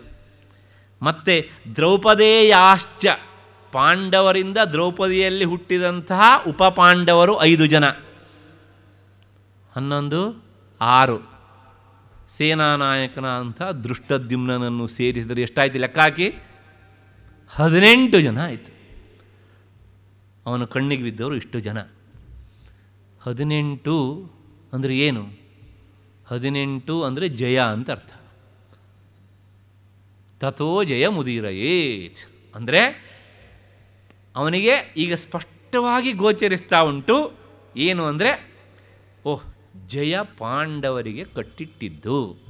ಹಾಗೆ ಹೇಳಿದ್ದರಿಂದಲೇ ಸೋಲು ನನಗೇನೆ. ಆದರೆ ಅದನ್ನು ಬಾಯ್ಬಿಟ್ಟು ಹೇಳ್ತಾ ಇಲ್ಲ, ಸಂಖ್ಯೆಯ ಮೂಲಕ ಹೇಳ್ತಾ ಇದ್ದ. ಜ ಅಂದರೆ ಎಂಟು ಅಂತ. ಯ ಅಂದರೆ ಒಂದು ಅಂತ. ಜ, ಯ. ನಾನು ಹಿಂದೆ ಹೇಳಿದ್ದೇನೆ ತುಂಬ ಸಲ. ಜ ಅಂದರೆ ಎಂಟು, ಯ ಅಂದರೆ ಒಂದು, ಎಂಬತ್ತೊಂದು ಅಂತ ಆಯಿತು. ಎಲ್ಲಿ ಅಕ್ಷರದಿಂದ ನಾವು ಸಂಖ್ಯೆಯನ್ನು ಪಡೆದುಕೊಳ್ತೇವೋ ಅದನ್ನು ಹಿಂದೂ ಮುಂದಾಗಿಸಿ ಕೊಡಬೇಕು ಎಂಬತ್ತೊಂದನ್ನು ನೀವು ರಿವರ್ಸ್ ಆಗಿಟ್ರೆ ಏನಾಗ್ತದೆ? ಹದಿನೆಂಟು. ಅಂದರೆ ಪಾಂಡವರ ಕಡೆಗೆ ಜಯಲಕ್ಷ್ಮಿ ಕುಳಿತಿದ್ದಾಳೆ. ಆ ಹದಿನೆಂಟು ಎನ್ನುವಂಥ ಸಂಖ್ಯೆಯನ್ನು ಇಟ್ಟು ಈ ಇಷ್ಟು ಜನರ ಮೂಲಕ ವೇದವ್ಯಾಸರು ದುರ್ಯೋಧನನ ಮನಸ್ಥಿತಿಯನ್ನು ನಮ್ಮ ಮುಂದೆ ಹೇಳ್ತಾ, ಅವನ ಮನಸ್ಸಿಗೆ ಎಲ್ಲೋ ಒಂದು ಕಡೆಗೆ ಅರಿವಾಗಿ ಬಿಟ್ಟಿದೆ. ಏನು ಕೇಳಿದರೆ, ಪಾಂಡವರಿಗೆ ಜಯ ಎನ್ನುವಂಥ. ಹಾಗಾಗಿ ಮಹಾಭಾರತಕ್ಕೆ ತಥೋ ಜಯ ಮುದೀರಯೇ ಜಯ ಎನ್ನುವಂಥ ಶಬ್ದ ಉಂಟು. ಇಷ್ಟಾದ ಮೇಲೆ ಈ ಶ್ಲೋಕದ ಅಕ್ಷರಾರ್ಥವನ್ನು ಮತ್ತು ಕೆಲವು ಸ್ವಾರಸ್ಯವನ್ನು ನಾವು ನೋಡ್ತೀವಿ. ಇಲ್ಲಿ ನಾವು ನೋಡಬೇಕಾದಂಥ ಯಾಕೆ ಇವರನ್ನು ದುರ್ಯೋಧನ ವಿಶೇಷವಾಗಿ ಹೆಸರಿಸಿದ್ದಾನೆ? ನೋಡಿ, ಅವನು ಹೇಳ್ತಾ ಇರುವಂಥವನು ಮೊದಲನೇವನು ಯುಯುಧಾನ. ಯುಯುಧಾನ ಅಂದರೆ ಯಾರು?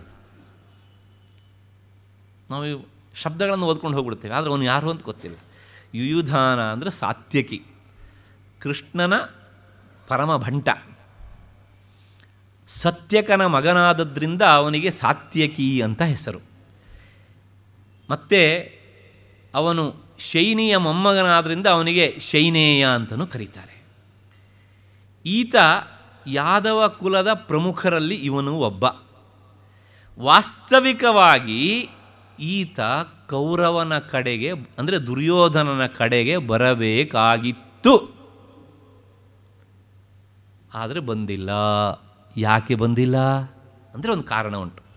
ಮಹಾಭಾರತ ಯುದ್ಧ ಪ್ರಾರಂಭ ಆಗಬೇಕಿದ್ರೆ ದುರ್ಯೋಧನ ತನ್ನ ಗುರುವಾದಂತಹ ಬಲರಾಮನಿಗೆ ಹೋಗಿ ನಮಸ್ಕಾರ ಮಾಡಿ ಕೇಳಿಕೊಂಡ, ನೀವು ನನ್ನ ಕಡೆಗೆ ನಿಂತು ಸಹಾಯ ಮಾಡಬೇಕು ಅಂತ.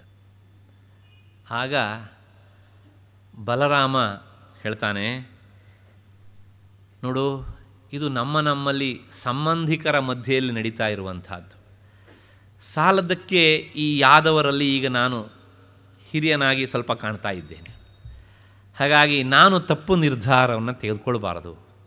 ಯಾಕೆ ಅಂದರೆ ಸುಭದ್ರೆ ನನ್ನ ತಂಗಿ. ಆ ಸುಭದ್ರೆ ಏನಾದರೂ ನಿನ್ನ ಕೈಯನ್ನೇ ಹಿಡಿದಿದ್ದಿದ್ರೆ ನೇರವಾಗಿ ಭಾವ ಎನ್ನುವಂತಹ ಬಲವಂತಕ್ಕಾದರೂ ಸಹ ನಾನು ನಿನ್ನ ಕಡೆಗೆ ಬರೋದು ಸಾಧ್ಯ ಇತ್ತು. ಆದರೆ ಇದು ದುರ್ಯೋಧನನ ಮನಸ್ಸಿನಲ್ಲಿ ನೀವು ಅಂದ್ಕೊಳ್ತಾ ಇರೋದು. ಕೃಷ್ಣನ ಕಾರಸ್ಥಾನದಿಂದಾಗಿ ಸುಭದ್ರೆ ದುರ್ಯೋಧನನ ಕೈ ಹಿಡಿಯುವುದನ್ನು ಬಿಟ್ಟು ಅರ್ಜುನನ ಕೈ ಹಿಡಿದ್ಲು. ಅರ್ಜುನನ ಕೈ ಹಿಡಿದ್ರಿಂದ ಇಡೀ ಈ ಯಾದವ ಕುಲ ಪಾಂಡವರ ಕಡೆಗೆ ನಿಂತಿತು. ಆದ್ರೂ ಸಹ ಮನಸ್ಸು ಮಾಡಿ ಬಲರಾಮ ಏನಾದರೂ ದುರ್ಯೋಧನನ ಕಡೆಗೆ ಬಂದದ್ದಿದ್ದರೆ ಅಷ್ಟೋ ಇಷ್ಟೋ ಜನ ಇವನ ಕಡೆಗೂ ಬರ್ತಿದ್ರೋ ಏನೋ. ಆದರೆ ಬಲರಾಮ ಏನು ಮಾಡಿದೆ ಕೇಳಿದರೆ ಅವನು ಒಂದು ರೀತಿಯ ತಟಸ್ಥತನದಲ್ಲಿ ನಿಂತುಬಿಟ್ಟ. ನಾನು ಯಾರ ಕಡೆಗೂ ಸೇರೋದಿಲ್ಲ. ನೀವೇನಾದರೂ ಮಾಡ್ಕೊಂಡು ಹೋಗಿ. ಯಾಕೆಂದರೆ ನನಗೆ ನೀನೂ ಸಮ, ಪಾಂಡವರು ಸಮಾನಪ್ಪ. ನೀನು ಶಿಷ್ಯ, ಅವ್ರ ಬಂಧುಗಳು. ಹಾಗಾಗಿ ನಾನು ಯಾರ ಕಡೆಗೂ ಸೇರುವುದಿಲ್ಲ ಅಂತ ಕೈ ಚೆಲ್ಲಿದ. ತಕ್ಷಣ ದುರ್ಯೋಧನ ಪ್ರಶ್ನೆ ಕೇಳಿದ. ಹಾಗಿದ್ರೆ ಯಾದವ ಸೈನ್ಯ? ನಾನು ಅವರಿಗೆ ನೀವು ಇಂಥವ್ರ ಕಡೆಗೆ ಹೋಗಿ ಅಂತಲೂ ನಾನು ಹೇಳುವುದಿಲ್ಲ. ಅವರು ಯಾರು ಇಷ್ಟ ಆಗ್ತಾರೋ ಅವ್ರ ಕಡೆಗೆ ಹೋಗಿ ಸೇರ್ಕೊಳ್ತಾರಪ್ಪ. ಹಾಗಾಗಿ ನಾನು ಯಾರಿಗೂ ಆಗ್ರಹ ಮಾಡುವುದಿಲ್ಲ ಅಂತ ಬಲರಾಮ ಹೇಳಿಬಿಟ್ಟ. ಬಲರಾಮ ಹೀಗೆ ಹೇಳಿದ್ರಿಂದ ಏನಾಯಿತು ಕೇಳಿದರೆ, ಸಾತ್ಯಕಿ ನೇರವಾಗಿ ಕೃಷ್ಣನ ಭಂಟನಾದ್ರಿಂದ ಕೃಷ್ಣ ಎಲ್ಲಿರ್ತಾನೋ ಅಲ್ಲಿಗೆ ನಾನು ಹೋಗ್ತೇನೆ ಅಂತ ಬಲರಾಮ ಏನಾದರೂ ಕೌರವನ ಕಡೆಗೆ ದುರ್ಯೋಧನ ಕಡೆಗೆ ಬಂದದ್ದಿದ್ದರೆ ಸಾತ್ಯಕಿಯೂ ಸಹ ದುರ್ಯೋಧನ ಕಡೆಗೆ ಬರ್ತಿದ್ದ. ಅವನು ನೋಡಿದ ತಕ್ಷಣ ಇವನಿಗನಿಸಿದು ಓಹ್, ಈ ಸಾತ್ಯಕಿ, ಈ ಯೂಧಾನ ನನ್ನ ಕಡೆಗೆ ಬರಬೇಕಾಗಿದ್ದವನು ತಪ್ಪಿ ಹೋದ್ನಲ್ಲಪ್ಪ? ಪಾಂಡವರ ಕಡೆಗೆ ನಿಂತುಬಿಟ್ನಲ್ಲಪ್ಪ ಇದು ಅವನ ಮನಸ್ಸನನ್ನು ಕಾಡ್ತಾ ಇರುವಂತಹ ಒಂದು ಕೊರಗು. ಯುಧಾನ. ಎರಡನೇ ಹೆಸರು ನೋಡಿ. ವಿರಾಟಶ್ಚ. ಆ ಚ ಶಬ್ದ. ವೇದವ್ಯಾಸರ ಚಕಾರ ಬಳಸಿದ್ರು ಅಂದರೆ ಅಲ್ಲಿ ಏನೋ ಒಂದು ಸ್ವಾರಸ್ಯ ಉಂಟು ಅಂತ ಅರ್ಥ. ವಿರಾಟನೂ ಕೂಡ ಹೀಗೆ ಆಗಿ ಹೋದ್ನಲ್ಲಪ್ಪ. ಯಾಕೆ ಹೀಗಾಗಿ ಹೋದ್ನಲ್ಲಪ್ಪ ಅಂತ ಕೊರಗ್ತಾನೆ ಅಂದರೆ ವಿರಾಟನ ಹೆಂಡತಿ ಸುದೇಷ್ಣೆ ಸುದೇಷ್ಣೆಯ ತಮ್ಮ ಕೀಚಕ. ಈ ಕೀಚಕ ಮತ್ತು ದುರ್ಯೋಧನ ಗಳಸ್ಯ ಕಂಠಸ್ಯ. ಆದರೆ ಏನು ಮಾಡೋಣ? ಆ ಪಾಂಡವರ ಅಜ್ಞಾತವಾಸದ ಕೊನೆಯ ಸಂದರ್ಭದಲ್ಲಿ ಭೀಮ ಈ ಕೀಚಕನನ್ನು ಮುಗಿಸಿಬಿಟ್ಟ. ದುರ್ಯೋಧನ ಮಹಾಬುದ್ಧಿವಂತ ಅವನು. ಅವನು ಲೆಕ್ಕ ಹಾಕ್ತಾನೆ. ಅವನೇನು ದಡ್ಡನಲ್ಲ ಪಾಂಡವರು ಇಲ್ಲೇ ಇದ್ದಾರೆ ಅಂತ ತೀರ್ಮಾನಕ್ಕೆ ಬರುವುದಕ್ಕೆ ಇದೇ ಕಾರಣ. ಕೀಚಕನ ಹನನವಾದದ್ದೇ ಕಾರಣ.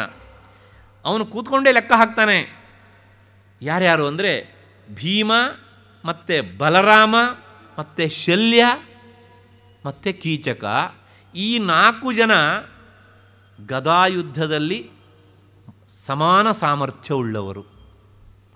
ಈ ನಾಲ್ಕು ಜನರಲ್ಲಿ ಯಾರೋ ಒಬ್ಬರು ಅಂದರೆ ಸಹಜವಲ್ಲದ ಮರಣದಕ್ಕೆ ತುತ್ತಾದರು ಅಂದರೆ ಇವರಲ್ಲಿ ಈ ಮೂರಲ್ಲಿ ಯಾವನೋ ಒಬ್ಬನ ಒಬ್ಬನನ್ನು ಸಾಯಿಸಿ ಬರಬೇಕು ಅಂತ ಲೆಕ್ಕಾಚಾರ. ಯಾವುದೋ ಕಾಯಿಲೆ ಕಸಾಲೆ ಬಂದು ಸತ್ತೋದ್ರೆ ಪ್ರಶ್ನೆ ಬೇರೆ. ಹಾಗಿಲ್ಲದೆ ಹತನಾದ ಇನ್ನೊಬ್ಬರಿಂದ ಅಂತಾದರೆ ಆ ಒಬ್ಬನನ್ನು ಈ ಮೂರಲ್ಲಿ ಯಾರೋ ಒಬ್ಬರು ಸಾಯಿಸಿರಬೇಕು ಅಂತ.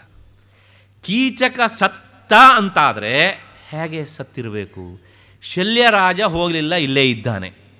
ನನ್ನ ಗುರುವಾದಂಥ ಬಲರಾಮ ಹೋಗಲಿಲ್ಲ, ಅವನು ಇಲ್ಲೇ ಇದ್ದಾನೆ. ಹಾಗಿದ್ದರೆ ಕೀಚಕನನ್ನು ಸಾಯಿಸುವ ಸಾಮರ್ಥ್ಯ ಇರುವವನು ಭೀಮ ಮಾತ್ರವಾದ್ದರಿಂದ ಭೀಮ ಅಲ್ಲಿ ಇರಲೇಬೇಕು ಅಂತ ಲೆಕ್ಕಾಚಾರ ಒಂದು. ಹಾಗಾಗಿ ಆ ವಿರಾಟರಾಜನ ಗೋವುಗಳನ್ನು ಸೆರೆ ಹಿಡಿಯುವುದರ ಮೂಲಕ ಅವನ ಮೇಲೆ ಯುದ್ಧಕ್ಕೆ ಸಾರಿದ. ವಿರಾಟನ ಮೇಲೆ ಅವನಿಗೇನು ದ್ವೇಷ ಇರಲಿಲ್ಲ. ಅವನಿಗೆ ಇದ್ದದ್ದು ಪಾಂಡವರಲ್ಲಿ ಇದ್ದಾರೆ, ಅವರನ್ನು ಪತ್ತೆ ಹಚ್ಚಬೇಕು. ಒಂದು ವರ್ಷದ ಒಳಗಾಗಿ ಪಾಂಡವರನ್ನು ತಾನು ಪತ್ತೆ ಹಚ್ಚಿಬಿಟ್ರೆ ಗುರುತನ್ನು ಹಿಡಿದರೆ, ಮತ್ತೆ ಹದಿಮೂರು ವರ್ಷ ವನವಾಸ, ಒಂದು ವರ್ಷ ಅಜ್ಞಾತವಾಸ. ಮತ್ತು ಹನ್ನೆರಡು ವರ್ಷ ವನವಾಸ, ಒಂದು ವರ್ಷ ಅಜ್ಞಾತವಾಸಕ್ಕೆ ಅವರನ್ನು ಅಟ್ಟಬೇಕು. ಅಂತ ತೀರ್ಮಾನ ಮಾಡಿ ಆತ ಗೋಗ್ರಹಣವನ್ನು ಮಾಡಿದ. ಅಂದರೆ ವಿರಾಟನ ಗೋವುಗಳನ್ನು ಸೆರೆ ಹಿಡಿದ. ವಿರಾಟನ ರಕ್ಷಣೆಗೋಸ್ಕರ ಅಲ್ಲಿ ಪಾಂಡವರು ಇದ್ದದ್ದೇ ಹೌದಾದರೆ ಬಂದೇ ಬರ್ತಾರೆ ಯುದ್ಧಕ್ಕೆ. ಯುದ್ಧದಲ್ಲಿ ನಾನು ಸೋತರೂ ಚಿಂತೆ ಇಲ್ಲ. ಪಾಂಡವರನ್ನು ನಾನು ಗುರುತಿಸಿದೆ. ಅಜ್ಞಾತವಾಸದ ಅವಧಿಯಲ್ಲಿ ಅವರು ಯಾರಿಗೂ ಸಹ ಗುರುತು ಹಿಡಿಯುವ ಸ್ಥಿತಿಯಲ್ಲಿ ಇರಬಾರದು. ಮತ್ತೆ ಪುನಃ ಅವ್ರನ್ನ ನಾನು ಕಾಡಿಗೆ ಅಟ್ಟಬಹುದು. ಇಷ್ಟೆಲ್ಲ ಪ್ಲ್ಯಾನ್ ಮಾಡಿ ಗೋಗ್ರಹಣವನ್ನು ಆತ ಮಾಡಿದ. ಕೀಚಕನನ್ನು ಸಾಯಿಸಿದಂಥ ಭೀಮ ಇರಲೇಬೇಕು ಅಂತ ಆತ ಲೆಕ್ಕಾಚಾರ ಹಾಕಿದ. ಆದರೆ ದುರ್ಯೋಧನನ ದುರ್ದೈವ ಬಹಳ ದೊಡ್ಡದು. ಗೋಗ್ರಹಣ ಯುದ್ಧವೂ ಆಯಿತು. ಇವರು ಸೋತಿದ್ದು ಆಯಿತು. ಅವ್ರನ್ನ ಹಚ್ಚಿದ ಆಯ್ನ ಆದರೆ ಪತ್ತೆ ಹಚ್ಚುವ ಮೊದಲನೇ ದಿವಸವೇ ಅವರ ಅಜ್ಞಾತವಾಸದ ಅವಧಿ ಮುಗಿದು ಹೋಗಿತ್ತು